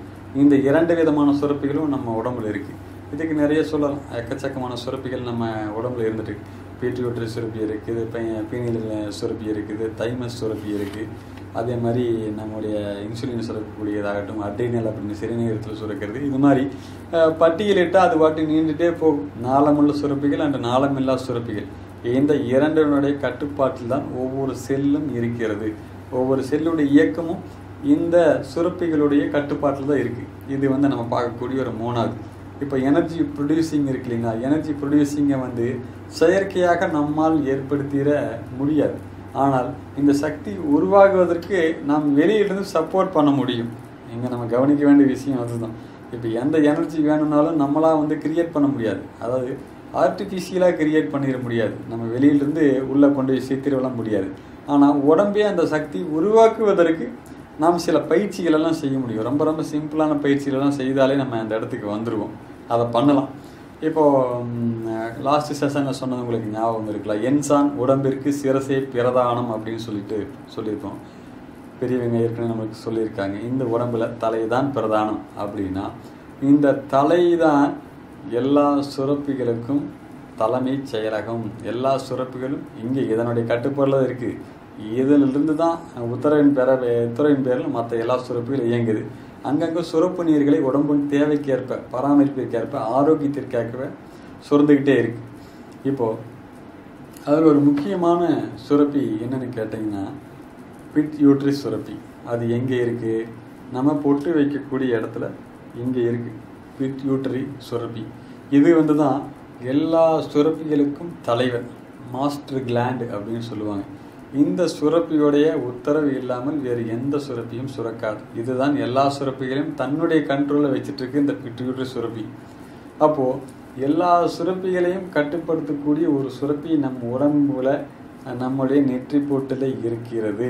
அப்படின்னா அந்த ஒரு சுரப்பியை ஆக்டிவேட் பண்ணிட்டோம் அப்படின்னா ஆக்டிவேட் பண்ண தெரிஞ்சிட்டோம் அப்படின்னா நம்ம உடம்புடைய ஆரோக்கியம் இப்போ மற்ற சுரப்பிகள் ஒன்றொன்னையும் ஒன்றொன்னையும் தனித்தனியாக நம்ம ஆக்டிவேட் பண்ண வேண்டிய அவசியம் இல்லை இல்லைங்களா? அப்போ ரொம்ப ரொம்ப வேலை சிம்பிள் ஏற்கனவே நம்ம பார்த்தது வந்து உடம்புல ஆற்றல் பராமரிப்பு. இப்போ வந்து எனர்ஜி ப்ரொடியூசிங் சக்தியை வந்து ப்ரொடியூஸ் பண்ணக்கூடிய இது வந்து எங்கேருந்து ஆரம்பிக்குது? அதை வந்து இயக்கக்கூடிய சக்தி எங்கே இருக்குது இப்போ அதற்கான பயிற்சியில் எப்படி செய்கிறது அப்படிங்கிறத நம்ம பார்க்க போகிறோம் பிட்யூட்ரி சுரப்பி தான் வந்து நம்ம உடம்புல ரொம்ப ரொம்ப முக்கியமானது. அதாவது இந்த ப்ரொடக்ஷன் செக்டாரில் வந்து ரொம்ப ரொம்ப முக்கியமான ஒரு பணியை செய்யக்கூடியது. மற்ற எல்லா சுரப்புகளையும் தன்னுடைய கண்ட்ரோலில் வச்சுட்டு இருக்கக்கூடிய ஒன்று அப்படின்னு நம்ம பார்த்தோம். இப்போ இந்த பிட்யூட்ரி சுரப்பி பார்க்குறதுக்கு முன்னாடி சில முக்கியமான விஷயங்கள் நம்முடைய தலைப்பகுதியில் அதுவும் குறிப்பாக மூளையில் நாம் தெரிஞ்சு கொள்ளக்கூடிய வேண்டிய ஒரு சின்ன சின்ன விஷயங்களை மட்டும் இப்போ பார்த்துருமே நம்ம மூளையில் ஒரு பத்தாயிரம் கோடிக்கு மேற்பட்டது. பத்தாயிரம் கோடி கோடிக்கான நியூரான் செல்ஸ் வந்து நம்முடைய மூளை பகுதியில் இருக்குங்க. அதாவது ஒரு வினாடிக்கு ஒரு வினாடிக்கு ஒரு லட்சத்திற்கும் மேற்பட்ட கெமிக்கல் ரியாக்ஷன்ஸை வந்து இந்த நியூரான்ஸ் வந்து கிரியேட் பண்ணிகிட்டே இருக்கு. இந்த நியூரான் செல்ஸ்ன்னு சொல்கிறோம் இல்லைங்களா? நியூரான் செல்ஸ் இந்த நியூரான் செல்கள் வந்து கிரியேட் பண்ணிக்கிட்டே இருக்குது இந்த இதில் வந்து ஒரு புரதம் ஒன்று வெளிப்படுங்க. இந்த மாதிரி ஒரு கெமிக்கல் ரியாக்ஷன் வந்து நம்ம மூளை பகுதியில் வெளிப்படும் போது ஒரு புரதம் வெளிப்படும். அது கிரியேட்டிவ் புரோட்டீன் புரதம். கிரியேட்டிவ் புரதம் புரோட்டீன் அப்படின்னு சொல்லுவாங்க. இப்போ இந்த புரதம் தான் வந்து இந்த புரதத்தை தான் வந்து இங்கிலீஷில் நியூரோ டிரான்ஸ்மிட்டர் அப்படின்னு சொல்லுவாங்க. நியூரோ டிரான்ஸ்மிட்டர் இந்த செய்தி பரிமாற்றம். இப்போ மூளைக்கும் இந்த உடம்புல மற்ற பகுதியில் இருக்கக்கூடிய நரம்பு செல்களுக்குமான ஒரு ந தகவல் பரிமாற்றத்துக்கு இந்த புரதம் காரணமாக இருக்குது இது சுருக்கம் வந்து நியூரோ டிரான்ஸ்மிட்டர்ஸ் அப்படின்னு சொல்லி சொல்லுவாங்க. இந்த நியூரோ டிரான்ஸ்மிட்டர் இந்த சமிக்கைகள் இருக்கு இல்லைங்கன்னா இந்த தகவல் பரிமாற்றத்தில் தான் உடம்புக்கு என்ன தேவையோ அதை பார்த்து கவனிக்கப்படுகிறது. இது ரொம்ப முக்கியமான விஷயம். அதனால இவ்வளோ டெக்னிக்கலாக சொல்லிகிட்டு இருக்கேன். இப்போது இவ்வளவு தகவலையும் வந்து இங்கே சிக்னலுக்கு வந்து சேரணும். இது நம்முடைய மூளையில் நியூரான் செல்களுக்கு வந்து உடம்போட தேவை என்னன்னு வெளிப்படுத்துவதெல்லாம் இங்கே வந்து சேரணும். அதே மாதிரி இந்த மூளை பகுதியிலிருந்து உடம்பின் பிற பகுதிகளுக்குமே வந்து கட்டளைகள் போய் சேரும் அதற்கேற்ப தான் இந்த உடம்பு வந்து வேலை செய்யும். இப்போ ரெண்டுமே முக்கியமானது. ஒன்று இங்கேருந்து வந்து தகவல் மற்ற இடத்துக்கு போகணும். மற்ற உடம்பின் பிற இடங்கள்லேருந்து வந்து சேரக்கூடிய தகவல் அத்தனை நம்முடைய தலையில் நியூரான் செல்களுக்கு வந்து சேரணும். இப்படி பார்க்க போனீங்கன்னா இந்த நியூரான் செல்ஸோட வெரைட்டி இருக்குது இல்லைங்களா? நியூரான் செல்ஸோட வெரைட்டி வந்து பார்த்தீங்கன்னா டூ ஹண்ட்ரட் அண்ட் எபோ இரநூறுக்கும் மேற்பட்ட வகையராக்கள் நியூரான் செல்ஸ்லேயே அவ்வளோ வெரைட்டிஸ் இருக்குது இப்போது ஒரு செகண்டுக்கே வந்து ஒரு லட்சத்துக்கு மேற்பட்ட கெமிக்கல் ரியாக்ஷன்ஸ் எல்லாம் பண்ணுறதா இருந்தால் அந்த செல்ஸ் எவ்வளோ ஆக்டிவாக இருக்கும்? நல்லா யோசிச்சு பாருங்கள் இப்போ இது இப்போ சமீபத்தில் கூட ஆர்டிசம் சம்மந்தமான குழந்தைகள்லாம் நிறைய இருந்துகிட்ருக்காங்க நம்ம இந்தியாவில் பிறந்துட்டுருக்காங்க உலகம் முழுவதுமே இந்த பிரச்சனை இருக்குது ஆர்டிசம் சார்ந்த குழந்தைகளோட பிறப்பு வந்து முன்காலத்தில் முற்காலத்தில் ரொம்ப ரொம்ப குறைவு. இப்போ ஏன் இது அதிகமாக ஆயிருக்குங்கிறதுக்கு இப்போ இருக்கக்கூடிய நவீன மருத்துவம் என்ன காரணம் சொல்லுது தெரியுங்களா? இந்த மூளையில் ஏற்படக்கூடிய கெமிக்கல் ரியாக்ஷன்ஸ் அண்டு அவங்களோட பேரண்ட்ஸோட லைஃப் ஸ்டைல் இந்த ரெண்டு நாள தான் வந்து இன்றைக்கி ஆர்டிசம் சம்மந்தமான குழந்தைகள் பிறக்கிறாங்க அப்படின்னு சொல்கிறாங்க அப்படின்னா இந்த இரண்டையும் சரிப்படுத்திட்டு ஆர்டிசத்தை குணப்படுத்திடலாமா இல்லையா? இப்போ நம்ம ஏற்கனவே சொல்லிட்டோம். நம்ம குணப்படுத்துவதற்கான வழிமுறைகள் என்னவோ அதை நம்ம பார்த்துட்டோம். இப்போ மூளையில் ஏற்படக்கூடிய இந்த கெமிக்கல் ரியாக்ஷன் வந்து தான் உற்பத்தி ஸ்தானம் நமக்கு. நமக்கு. இந்த உடம்புல உற்பத்தி ஸ்தானம் அப்படின்னு கேட்டிங்கன்னா அது மூளை தான் தலைப்பகுதியில் நடந்துட்டு இருக்கக்கூடியது. மற்ற சுரப்பிகள் எல்லாமே தன் கண்ட்ரோலில் வச்சுட்டு இருக்கக்கூடிய அந்த தலைமைச் செயலகத்தை ஒழுங்குபடுத்திட்டோம்னா அதற்கு தேவையான ஒரு இதை வந்து நம்ம உருவாக்கணும் அப்படின்னா நம்ம எல்லா இது ஒட்டுமொத்த உடம்பு ஆரோக்கியத்தையும் அதன் மூலமாக கொண்டு வந்துட முடியும். அப்போது அதுக்காக நம்ம அதை பார்த்துட்டு இருக்கோம். இப்போது இந்த தலையில் அந்த நம்ம தலைமைச் செயலகம் உற்பத்தி செய்யக்கூடிய சில முக்கியமான விஷயங்கள் ஹார்மோன்ஸை வந்து நம்ம இப்போ பார்க்க போகிறோம் இப்போது செரட்டோன் அப்படிங்கிற ஒரு சுரப்பி இருக்குதுன்னு வச்சுக்கங்களேன். செரட்டோன் தான் வந்து நம்மளுடைய தூக்கத்தை நிர்ணயிக்குது நிம்மதியான வாழ்க்கை நிர்ணயிக்குது மகிழ்ச்சி மன நிறைவு இதெல்லாம் செரட்டோன் சுரப்பி தான் இது பண்ணுது. அதே மாதிரி என்டார்ஃபின் அப்படிங்கிற ஒரு சுரப்பி வந்து பார்த்தீங்கன்னா ஒரு காயம் பட்டிருக்கு அடிபட்டிருக்கு வலியாக இருக்குது அப்படின்னா அதுக்கு வலி நிவாரணம் எதுன்னு கேட்டிங்கன்னா இந்த என்டார்ஃபின் அதுவும் வந்து மூளையிலேருந்து தான் சுரக்கும். மூளை பகுதியில் இந்த நியூரான்ஸ் தான் அதை கிரியேட் பண்ணுது. அதே மாதிரி மன கவலை துக்கம் இதை வந்து இதிலிருந்து நம்மளை விடுபட்டு ஆரோக்கியத்துக்கு மேம்படுத்திட்டு வரதும் இதே இதே என்டார்ஃபின் அப்படிங்கிற இந்த ஹார்மோன் தான் அதே மாதிரி டோப்பமைன் அப்படின்ட்டு இருக்குங்க. நீங்கள் சந்தோஷமாக இருக்கீங்கன்னா அதுக்கு இந்த டோப்பமைன் அப்படிங்கிற ஹார்மோன் தான் காரணம். இது மாதிரி இந்த லிஸ்ட்டு இன்னும் நீளம். அப்படியே போயிட்டே இருக்கும் தலையில் மூளைப்பகுதியில் சுரக்கக்கூடிய சுரப்புகளும் அது செய்யக்கூடிய வேலைகளும் அவ்வளோ நீளமான பட்டியலை கொண்டது. இதை என்னங்கிறது சுருக்கமாக உங்களுக்கு இந்த சைடில் உங்களுக்கு சைடில் இப்போ காமிக்க போகிறோம்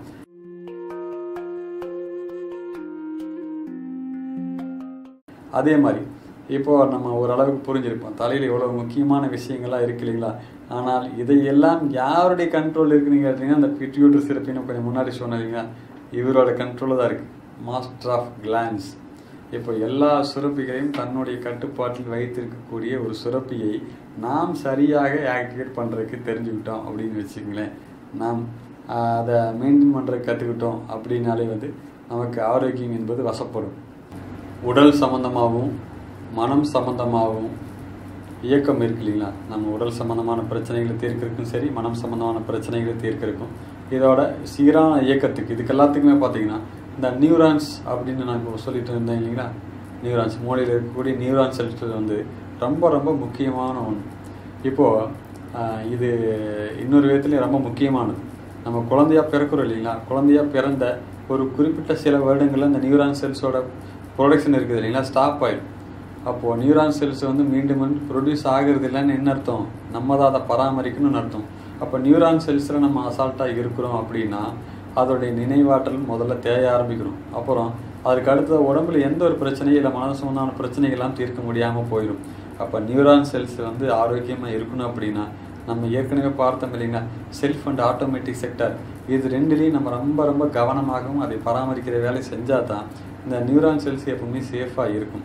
இன்னொன்று நியூரான் செல்ஸ் வந்து இதை வந்து ட்ரான்ஸ்ஃபர் தான் பண்ணிட்டு போகும். ஒரு சில நியூரான் செல்ஸ் அழியுது அப்படின்னா கூட அடுத்த செல்லுக்கு தான் இதோட தகவலை பரிமாற்றம் பண்ண முடியுமே தவிர இன்னொரு செல்லை உருவாக்கி அதோட இதை வந்து ட்ரான்ஸ்ஃபர் பண்ண முடியாது அதோடைய தகவல் எல்லாம்.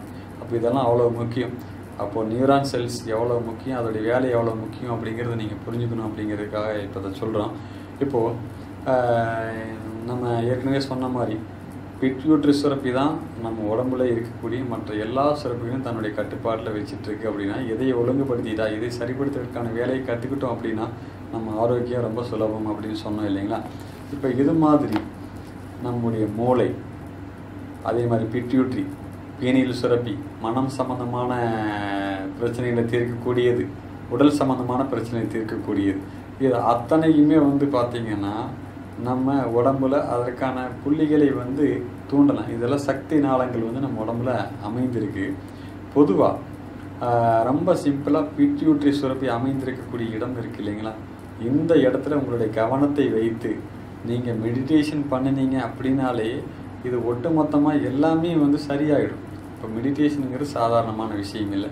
இது வந்து ரொம்ப ரொம்ப சுலபமாக உங்களுடைய கவனத்தை மட்டும் பிட்யூட்ரி சுரப்பி இருக்கக்கூடிய இடத்தில் வைத்து நீங்கள் எவ்வளவு நேரம் உங்களால் தியானம் பண்ண முடியுதோ தியானம் பண்ணிட்டீங்கன்னா மூளை சீராயிரும். பிட்யூட்ரி சுரப்பியும் சீராயிரும். பிட்யூட்ரி சுரப்பி சு- சுரப்பி சீராயிருச்சு அப்படின்னா மொத்தமாக உடம்புல இருக்கக்கூடிய எல்லா சுரப்பிகளும் சீரடைந்த மாதிரி. அதற்கப்புறம் பீனியல் சுரப்பி அதாவது நம்ம உச்சந்தலையில் இருக்குங்க அந்த சுரப்பி. அதுவும் வந்து சரியாக எல்லா பக்கத்துக்கான நாடி நரம்புகளில் ஒழுங்குபடுத்தக்கூடிய வேலையில் அது செஞ்சிடும் அதே மாதிரி மனம் சம்பந்தமான பிரச்சனைகள் ஒழுங்காயிரும் உடம்பு சம்பந்தமான பிரச்சனைகள் ஒழுங்காயிரும். இதெல்லாம் எப்படி க- சாத்தியமாகுதுன்னு கேட்டிங்கன்னா நம்ம பூர்வ மத்தியான பிட்யூட்ரி சுரப்பி இருக்கக்கூடிய இடங்களில் நம்முடைய கவனத்தை வச்சு தியானம் செய்வது. உங்களால் எவ்வளோ நேரம்லாம் கவனித்து அதை தியானம் பண்ணுறீங்களோ அதற்கான பலன் உங்களுக்கு கண்டிப்பாக உண்டு. இது ஒரு வழி பிட்யூட்ரி சுரப்பியை ஆக்டிவேட் பண்ணுறதுக்கு இன்னொரு வழி வந்து அக்கு ப்ரெஷர் பாயிண்ட் மூலியமாக இருக்குங்க. அந்த அக்கு ப்ரெஷர் பாயிண்ட் நம்ம உடம்புல எங்கே இருக்குன்னு கேட்டிங்கன்னா நம்முடைய இடது கை அல்லது வலது கை ரெண்டு கையிலுமே கட்டை விரல் இருக்கு இல்லைங்களா? இந்த கட்டை விரலை பாருங்க நான் மார்க் பண்ணியிருக்கேன் பாருங்கள் ஒரு ஐந்து புள்ளிகளை வந்து நான் இப்போ வந்து மார்க் பண்ணியிருக்கேன். இந்த அஞ்சு புள்ளிகளை வந்து பார்த்தீங்கன்னா மேலேருந்து கீழே வரைக்கும் ஐந்து பாயிண்ட்ஸ் மார்க் பண்ணியிருக்கேன் இல்லைங்களா? இந்த ஒவ்வொன்றும் ஒவ்வொரு ப- பகுதியை வந்து தூண்டக்கூடியது. முதலாவது ஒரு புள்ளி இருக்குங்களா? இது வந்து மூளை பகுதியை தூண்டும். இது வந்து அடுத்தது பிட்யூட்ரியே சுரப்பியை வந்து தூண்டும். இது மூன்றாவது பீனியல் இதை வந்து தூண்டும். நாலாவது மனம் சம்மந்தமானது அஞ்சாவது வந்து உடம்பு சம்மந்தமானது அதாவது முதல்ல வந்து மூளை சம்பந்தமானது இரண்டாவது வந்து பிட்யூட்ரி சம்பந்தமானது மூன்றாவது பீனியல் நாலாவது மனம் சம்பந்தமான இயக்கம் ஐந்தாவது உடல் சம்பந்தமான இயக்க நரம்புகள். இது அத்தனையும் தூண்டக்கூடியது எங்கே இருக்குன்னு பார்த்தீங்கன்னா நம்ம கட்டை விரல்ல. நீங்கள் இடது கை அல்லது வலது கை ரெண்டுலையுமே வந்து பேரல் தான். அப்போ ரெண்டு கையிலுமே கூட இதற்கான அழுத்த சிகிச்சை கொடுத்தீங்கனாலும் இப்போ நம்ம பார்த்தோம் இல்லைங்களா? இத்தனை பகுதிகளும் தூண்டப்படும். அதாவது சக்தி உருவாக்கத்துக்கு நாம் இந்த இந்த வேலையை ஊக்குவிக்கிறதுக்காக நம்ம செய்ய முடியும். இங்கே இந்த இடத்துல உங்களுடைய கட்டை விரல் இருக்கு இல்லைங்களா? இப்போது இடது கையில் இருக்கக்கூடிய இந்த மாதிரி ஐந்து புள்ளிகளை கவனமாக பார்த்துங்க இந்த புள்ளிகளை நீங்கள் பார்த்துட்டீங்க அப்படின்னா மேலிருந்து கீழே ஒரு நிமிடங்களுக்கு நீங்கள் வந்து அழுத்தம் கொடுக்கலாம். அழுத்தம் கொடுத்து இந்த அக்குப்ரெஷர் புள்ளிகளை தூண்டி இந்த பாயிண்ட்டை நீங்கள் தூண்டி பயிற்சி பண்ணலாம். இதனாலே உங்களுக்கு ஆரோக்கியம் கிடைக்கும்? அதே மாதிரி இந்த கையில் இருக்கிற மாதிரி இடது கையில் இருக்கிற மாதிரி வலது கையிலையும் நீங்கள் இதே மாதிரி இந்த புள்ளிகளை வந்து குறித்து வச்சுட்டு நீங்கள் இங்கே வந்து அழுத்தம் கொடுக்கலாம். இதை வந்து விரிவாக வந்து இன்னும் நீங்கள் அந்த ஸ்லைடெல்லாம் வந்து நம்ம காமிக்கிறோம். நீங்கள் அதில் பார்த்தோம் இந்த பயிற்சியில் நீங்கள் செய்துக்கலாம். நம்ம ஆரோக்கியமாக வாழ்வதற்கான நாலாவது வழிமுறை வந்து பார்த்திங்கன்னா மனம். நம்ம ஏற்கனவே பார்த்தோம் எண்பது சதவீதமான வியாதிகளுக்கு நம்முடைய மனம்தான் காரணமாக இருக்கிறது அப்படின்னு பார்த்தோம் இல்லைங்களா? அப்போது மனம்தான் ஒரு வியாதி உற்பத்தி பண்ணுதுன்னா அப்போ மனதால் நம்ம வியாதியும் குணப்படுத்த முடியும். ஆக்சுவலாக அது பெரிய விஷயமே இல்லை. இப்போ உதாரணத்துக்கு சொல்ல போகிறாங்க கேட்டிங்கன்னா சில பேர் வந்து சாதாரண தலைவலி கைவலி கால்வலி உடல் வலினா கூட பொறுத்துக்கவே மாட்டாங்க. இல்லை தனக்கு இந்த மாதிரி ஏதாவது வியாதி இருக்குமோன்னு சொல்லிட்டு அவங்களாவே கற்பனை பண்ணிக்குவாங்க. நம்மளுக்கு பிபி இருக்குமோ சுகர் இருக்குமோ அதுவாக இருக்குமோ கேன்சராக இருக்குமோ அப்படியா இருக்குமோ எதையா ஒன்று நினச்சி அதாவது இல்லாத வியாதியை மனசால் உருவாக்கி உருவாக்கி அந்த நோயாளியாகவே வாழ்ந்துட்டுருப்பாங்க காலம்பூரா நம்ம அந்த மாதிரி நிறைய பேர் பார்த்துட்ருக்கோம் இல்லைங்களா? அப்போது ஒரு வியாதியே இல்லைனாலும் மனசால் வந்து அவங்களா கற்பனை பண்ணி ஒரு நோயாளியாகவே வாழ்ந்துட்டு இருப்பாங்க. இன்னும் சில பேர் இருப்பாங்க. ஆக்சுவலாக அவங்களுக்கு உடம்புல எதுவும் பிரச்சனை இருந்தால் கூட தான் ஒரு நோயாளி இல்லைங்கிறதுல அவங்க அவ்வளோ கான்ஃபிடெண்ட்டாக இருப்பாங்க. நமக்கெல்லாம் எதுவுமே வராது அப்படின்ட்டு. உண்மையிலேயே அவங்களும் ஆரோக்கியமாக தான் வாழ்ந்துட்டு இருப்பாங்க. அப்போ நோயே இல்லாமல் நோயை நினச்சி நோயாளியாக வாழ்கிறதும் இந்த மனசனால முடியும். இப்போ நோய் இருந்தால் கூட அப்படியெல்லாம் எதுவும் இல்லை அப்படின்னு துணிச்சலாக வாழ்கிறதுக்கு இந்த மனசனால முடியும். இப்போ இந்த இரண்டுமே சரியாக தவறாங்கிறது ரெண்டாவது. நம்ம அதை அப்புறம் பார்ப்போம். அதாவது மனதால் வந்து நம்ம பாசிட்டிவாக திங்க் பண்ணால் நம்ம உடம்பும் அதற்கு தகுந்தாற் போல் பாசிட்டிவாக இயங்குது. பாசிட்டிவாகவே வந்து சுரப்பிகளை சுரக்குது பாசிட்டிவாகவே உடல் இயக்கம் நடக்குது. இதுதான் முக்கியமான விஷயம். இப்போ மனம் அப்படிங்கிறது இங்கே பெரும்பங்கு வகிக்குது. நாம் எதை நினைக்கிறோமோ அதுவாகவே ஆகிறோம் அப்படின்னா நீங்கள் மனதால் ஆரோக்கியமானவன் நினச்சிங்கன்னா கண்டிப்பாக ஆரோக்கியமாகவே இருப்பீங்க. மனதால் நீங்கள் நோயாளி தான் நினச்சிட்டிங்கன்னா கண்டிப்பாக நோயாளி தான். அது எந்த டாக்டராக இருந்தாலும் உங்களை குணப்படுத்திடவே முடியாது. அப்போது இந்த விஷயம் ஏன் சொல்ல வரோம் அப்படின்னா மனம் அப்படிங்கிறது அவ்வளவு ஆற்றல் வாய்ந்தது. ரொம்ப ரொம்ப பவர்ஃபுல்லான விஷயம். இவ்வளவு நேரம் நம்ம சொல்லிட்டு இருந்ததுக்கு எல்லாத்துக்கும் மாஸ்டர் எதுன்னு கேட்டிங்கன்னா மனம்தான் மாஸ்டர் மனம் இந்த மனம் ஒன்று சரியாக நம்ம நிர்வகிக்க கற்றுக்கிட்டோம் அப்படின்னா நாம் ஆரோக்கியமாக வாழ முடியும். மனம் சம்மந்தமாக இன்னும் நம்ம கூடுதலாக நிறைய விஷயங்களை மனதை சிக்கன பிடி அப்படிங்கிற டைட்டில் நம்ம வந்து பேசியிருக்கிறோம். நீங்கள் கண்டிப்பாக இந்த விஷயங்கள் பார்க்கும்போது நீங்கள் அதையும் கூடுதலாக பார்த்து தெரிஞ்சுக்கிட்டீங்க அப்படின்னா உடல் ஆரோக்கியம் அப்படிங்கிறதுக்கு நம்ம ரொம்ப சுலபமான வழிமுறைகளை தெரிஞ்சு ஃபாலோ பண்ணிடுவோம். இப்போ நான்கு வழிமுறைகள் நான் உங்களுக்கு சொல்லியிருக்கிறேன். முதலாவது வந்து செல்ஃப் செக்டாரில் குணப்படுத்தக்கூடியது. அதாவது நீர் அண்டு உணவு. உணவையும் நீரையும் சரியாக நிர்வாகம் பண்ணக்கூடிய வழியில் நம்ம ஆரோக்கியமாக இருக்கிறது. இரண்டாவது ஆட்டோமேட்டிக் செக்டார் காற்று உடம்பு சூடு உடல் உஷ்ணம் அண்டு தூக்கம். இந்த மூன்றுமான ஆட்டோமேட்டிக் செக்டாரில் நாம் எப்படி வந்து அதை அனுமதித்து இயற்கையான விதத்தில் அனுமதித்து நாம் ஆரோக்கியமாக வாழ்வது? இது ரெண்டாவது பார்த்துருக்குறோம். மூன்றாவது நம் உடம்பின் தலைமைச் செயலகம்னு சொல்லக்கூடிய மூளை நியூரான்ஸ் இருக்கக்கூடிய பகுதிகளில் அங்கே நடக்கக்கூடிய பல பல டிரான்ஸ்மிட்டர் நியூரோ டிரான்ஸ்மிட்டர்ஸ் எல்லாம் அங்கே நடந்துட்டுருக்கு அதுதான் உடல் இயக்கத்துக்கு காரணமாக இருக்குது அப்படிங்கும்போது. அதை எப்படி சரியாக இயக்குவது? பிட்டியூட்ரி சுரப்பியை எப்படி சரியாக ஆக்டிவேட் பண்ணுறது அப்படிங்கிற விஷயங்களையும் நம்ம பார்த்துருக்குறோம் நாலாவது மனம் அப்படிங்கிறது நாம் எப்படி ஆரோக்கியமாக வச்சுக்க முடியும்? மனம் எப்படி நம்ம ஆரோக்கியத்தில் பங்கு வகிக்குதுங்கிறது முதல்ல தெரிஞ்சுக்கிறது. இது எல்லாத்தையும் பற்றி நம்ம இந்த இதில் நம்ம பார்த்துருக்குறோம். இதற்கு அடுத்துதான் கன்க்ளூஷன் இது எத்தனைக்கும் தீர்வு வந்து என்ன அப்படிங்கிறத ரொம்ப சிம்பிளாக நம்ம பார்ப்போம்.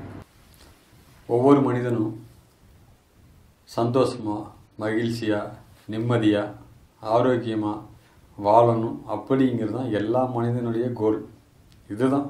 எல்லாத்துடைய தேடலும் வந்து இதுதான். இதை நோக்கி ஒவ்வொருத்தருமே ட்ராவல் பண்ணிகிட்டே இருக்கிறோம்.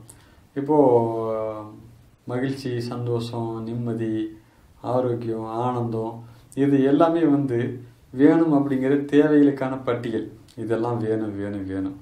இது வேணும் அப்படிங்கிறது மனம் விரும்புகிறது உடல் விரும்புகிறது. உங்களுடைய வாழ்க்கையை அதை நோக்கியதாக இருக்கிறது. நம்ம போயிட்டுருக்குறோம் அதை நோக்கி போயிட்டே இருக்கு. இதெல்லாம் வேணும் அப்படின்ட்டு. இதிலிருந்து ஆரோக்கியம் குறைந்து நோய்வாய்ப்படும் போது ஒரு அசௌகரியம் வரும்போது வாழ்க்கையிலையும் சரி பொருளாதார சூழல்லையும் சரி இது எல்லாமே ஒரு சரிவை சந்திக்கும் போது அதிலிருந்து மீண்டுக்கணும்னு நினைக்கிறோம். அதிலிருந்து மீண்டு வரணும். ஆரோக்கியம்னா நம்ம தொடர்ந்து அதே இருளில் இருந்துட்டு இருக்கணுங்கிறது தான் எல்லாத்துடைய ஆசை. ஒரு கால் அதிலிருந்து தவறி கொஞ்சம் ஆரோக்கிய குறைவு நோயெல்லாம் வரும்போது மீண்டும் ஆரோக்கியமாக வருவதற்கான வழிகள் என்ன? அதையும் நாம் பார்க்குறோம் அப்புறம் நோய்னா நோய் இருந்து விட்டுட்டு தான் விடுபட்டு வெளியில் வரணுங்கிறது தான் நம்ம விரும்புவோம். இப்போது ஒன்று தேடல் இருக்குது இன்னொன்று நமக்கு தேவையில்லாத வந்துட்டால் அதை நீக்கணும் அப்படிங்கிறதுல இருக்குது அவன் நல்லா புரிஞ்சுங்க. நமக்கு வேண்டியது ரெண்டே ரெண்டு தான். நமக்கு எது நல்லதோ நமக்கு எது தேவையோ அது நமக்கு வேணும்னு நினைக்கிறோம்.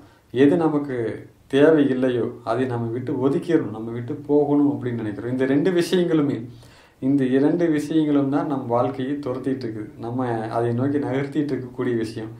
நீங்கள் எதை சேகரிக்கிறீங்க அப்படிங்கிறது உங்களுக்கு தேவையானதாக இருக்கணும். நீங்கள் உங்களுக்கு எது வேண்டாம் ஒதுக்கணும்னு நினைக்கிறீங்களோ அதை வந்து நான் தள்ளி விடுவதற்கான ஒதுக்குவதற்கான வேலையை நீங்கள் இன்னொரு பக்கம் செஞ்சிட்ருக்கீங்க இந்த இரண்டும் மாறி மாறி மாறி மாறி உங்கள் வாழ்க்கையை வந்து ஒரு முறை திரும்பி பார்த்தீங்க பின்னோக்கி பார்த்தீங்கன்னா தெரியும். நீங்கள் இந்த ரெண்டையுமே பண்ணியிருப்பீங்க. எதெல்லாம் வேணும்னு ஓடியிருப்பீங்க எதெல்லாம் வேண்டாம்னா அதுக்கும் ஓடியிருப்பீங்க. இதை விட்டு போயிட்டா நிம்மதி. இது வேண்டாம் அது வேண்டாம் அது வேண்டாம். அப்போது ஆரோக்கியங்கிறது வேணும் நோய்ங்கிறது வேண்டாம். இப்போ நம்ம சொல்ல வர்றது உங்களுக்கு புரிஞ்சிருக்குன்னு நினைக்கிறேன்.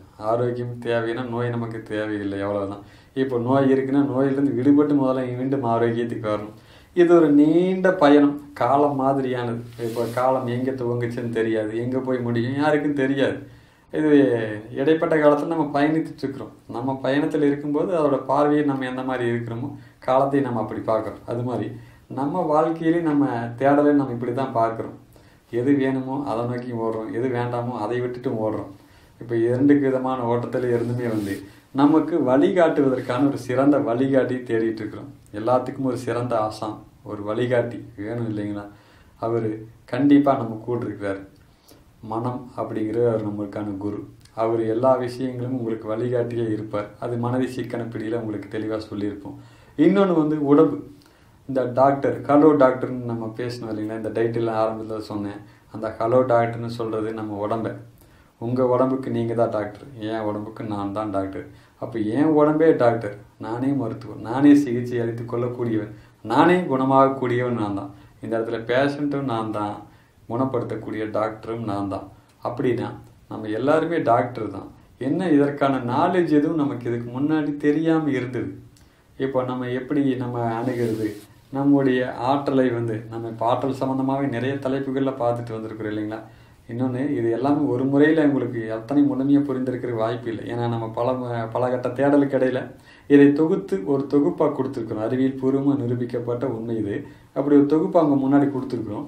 இது இத்தனையுமே வந்து இந்த ஒன்றரை ரெண்டு மணி நேரத்தை இதில் வந்து உங்களுக்கு புரிஞ்சிருமான்னு கேட்டிங்கன்னா நிச்சயம் ஒரு முறைக்கு பத்தாது. இரண்டு ஒரு முறை கேட்டு நல்லா உள்வாங்கிட்டு பதிய வச்சிட்டீங்க அப்படின்னா உங்களுக்குள்ளே இருக்கக்கூடிய டாக்டர் எவ்வளோ சூப்பராக வேலை பார்த்து உங்களை ஆரோக்கியமாக வச்சுக்கிறாருன்னு புரியும். உங்கள் மனம் உங்களை எவ்வளோ மகிழ்ச்சியாக உண்மையிலே மனம் என்பது ஆனந்தத்தின் பிறப்பிடம் ஆனந்தத்தின் இருப்பிடம் ஆனந்தத்தின் வாழிடம். இதுதான். மனம் வந்து நோய்க்கான இருப்பிடம் இல்லை. ஆனால் மனதை வந்து நோயாக மாற்றுவதற்கான வேலை அத்தனையும் மனிதன் செய்துட்டு இருக்கிறான் அதை மாற்றிட்டாலே போதும். அப்போ மனம்ங்கிறது நோய் இல்லை உடம்புங்கிறது நோயும் இல்லை. இப்போ நல்லா புரிஞ்சுக்குங்க. உடல் நோய் கிடையாது மனம் நோய் கிடையாது.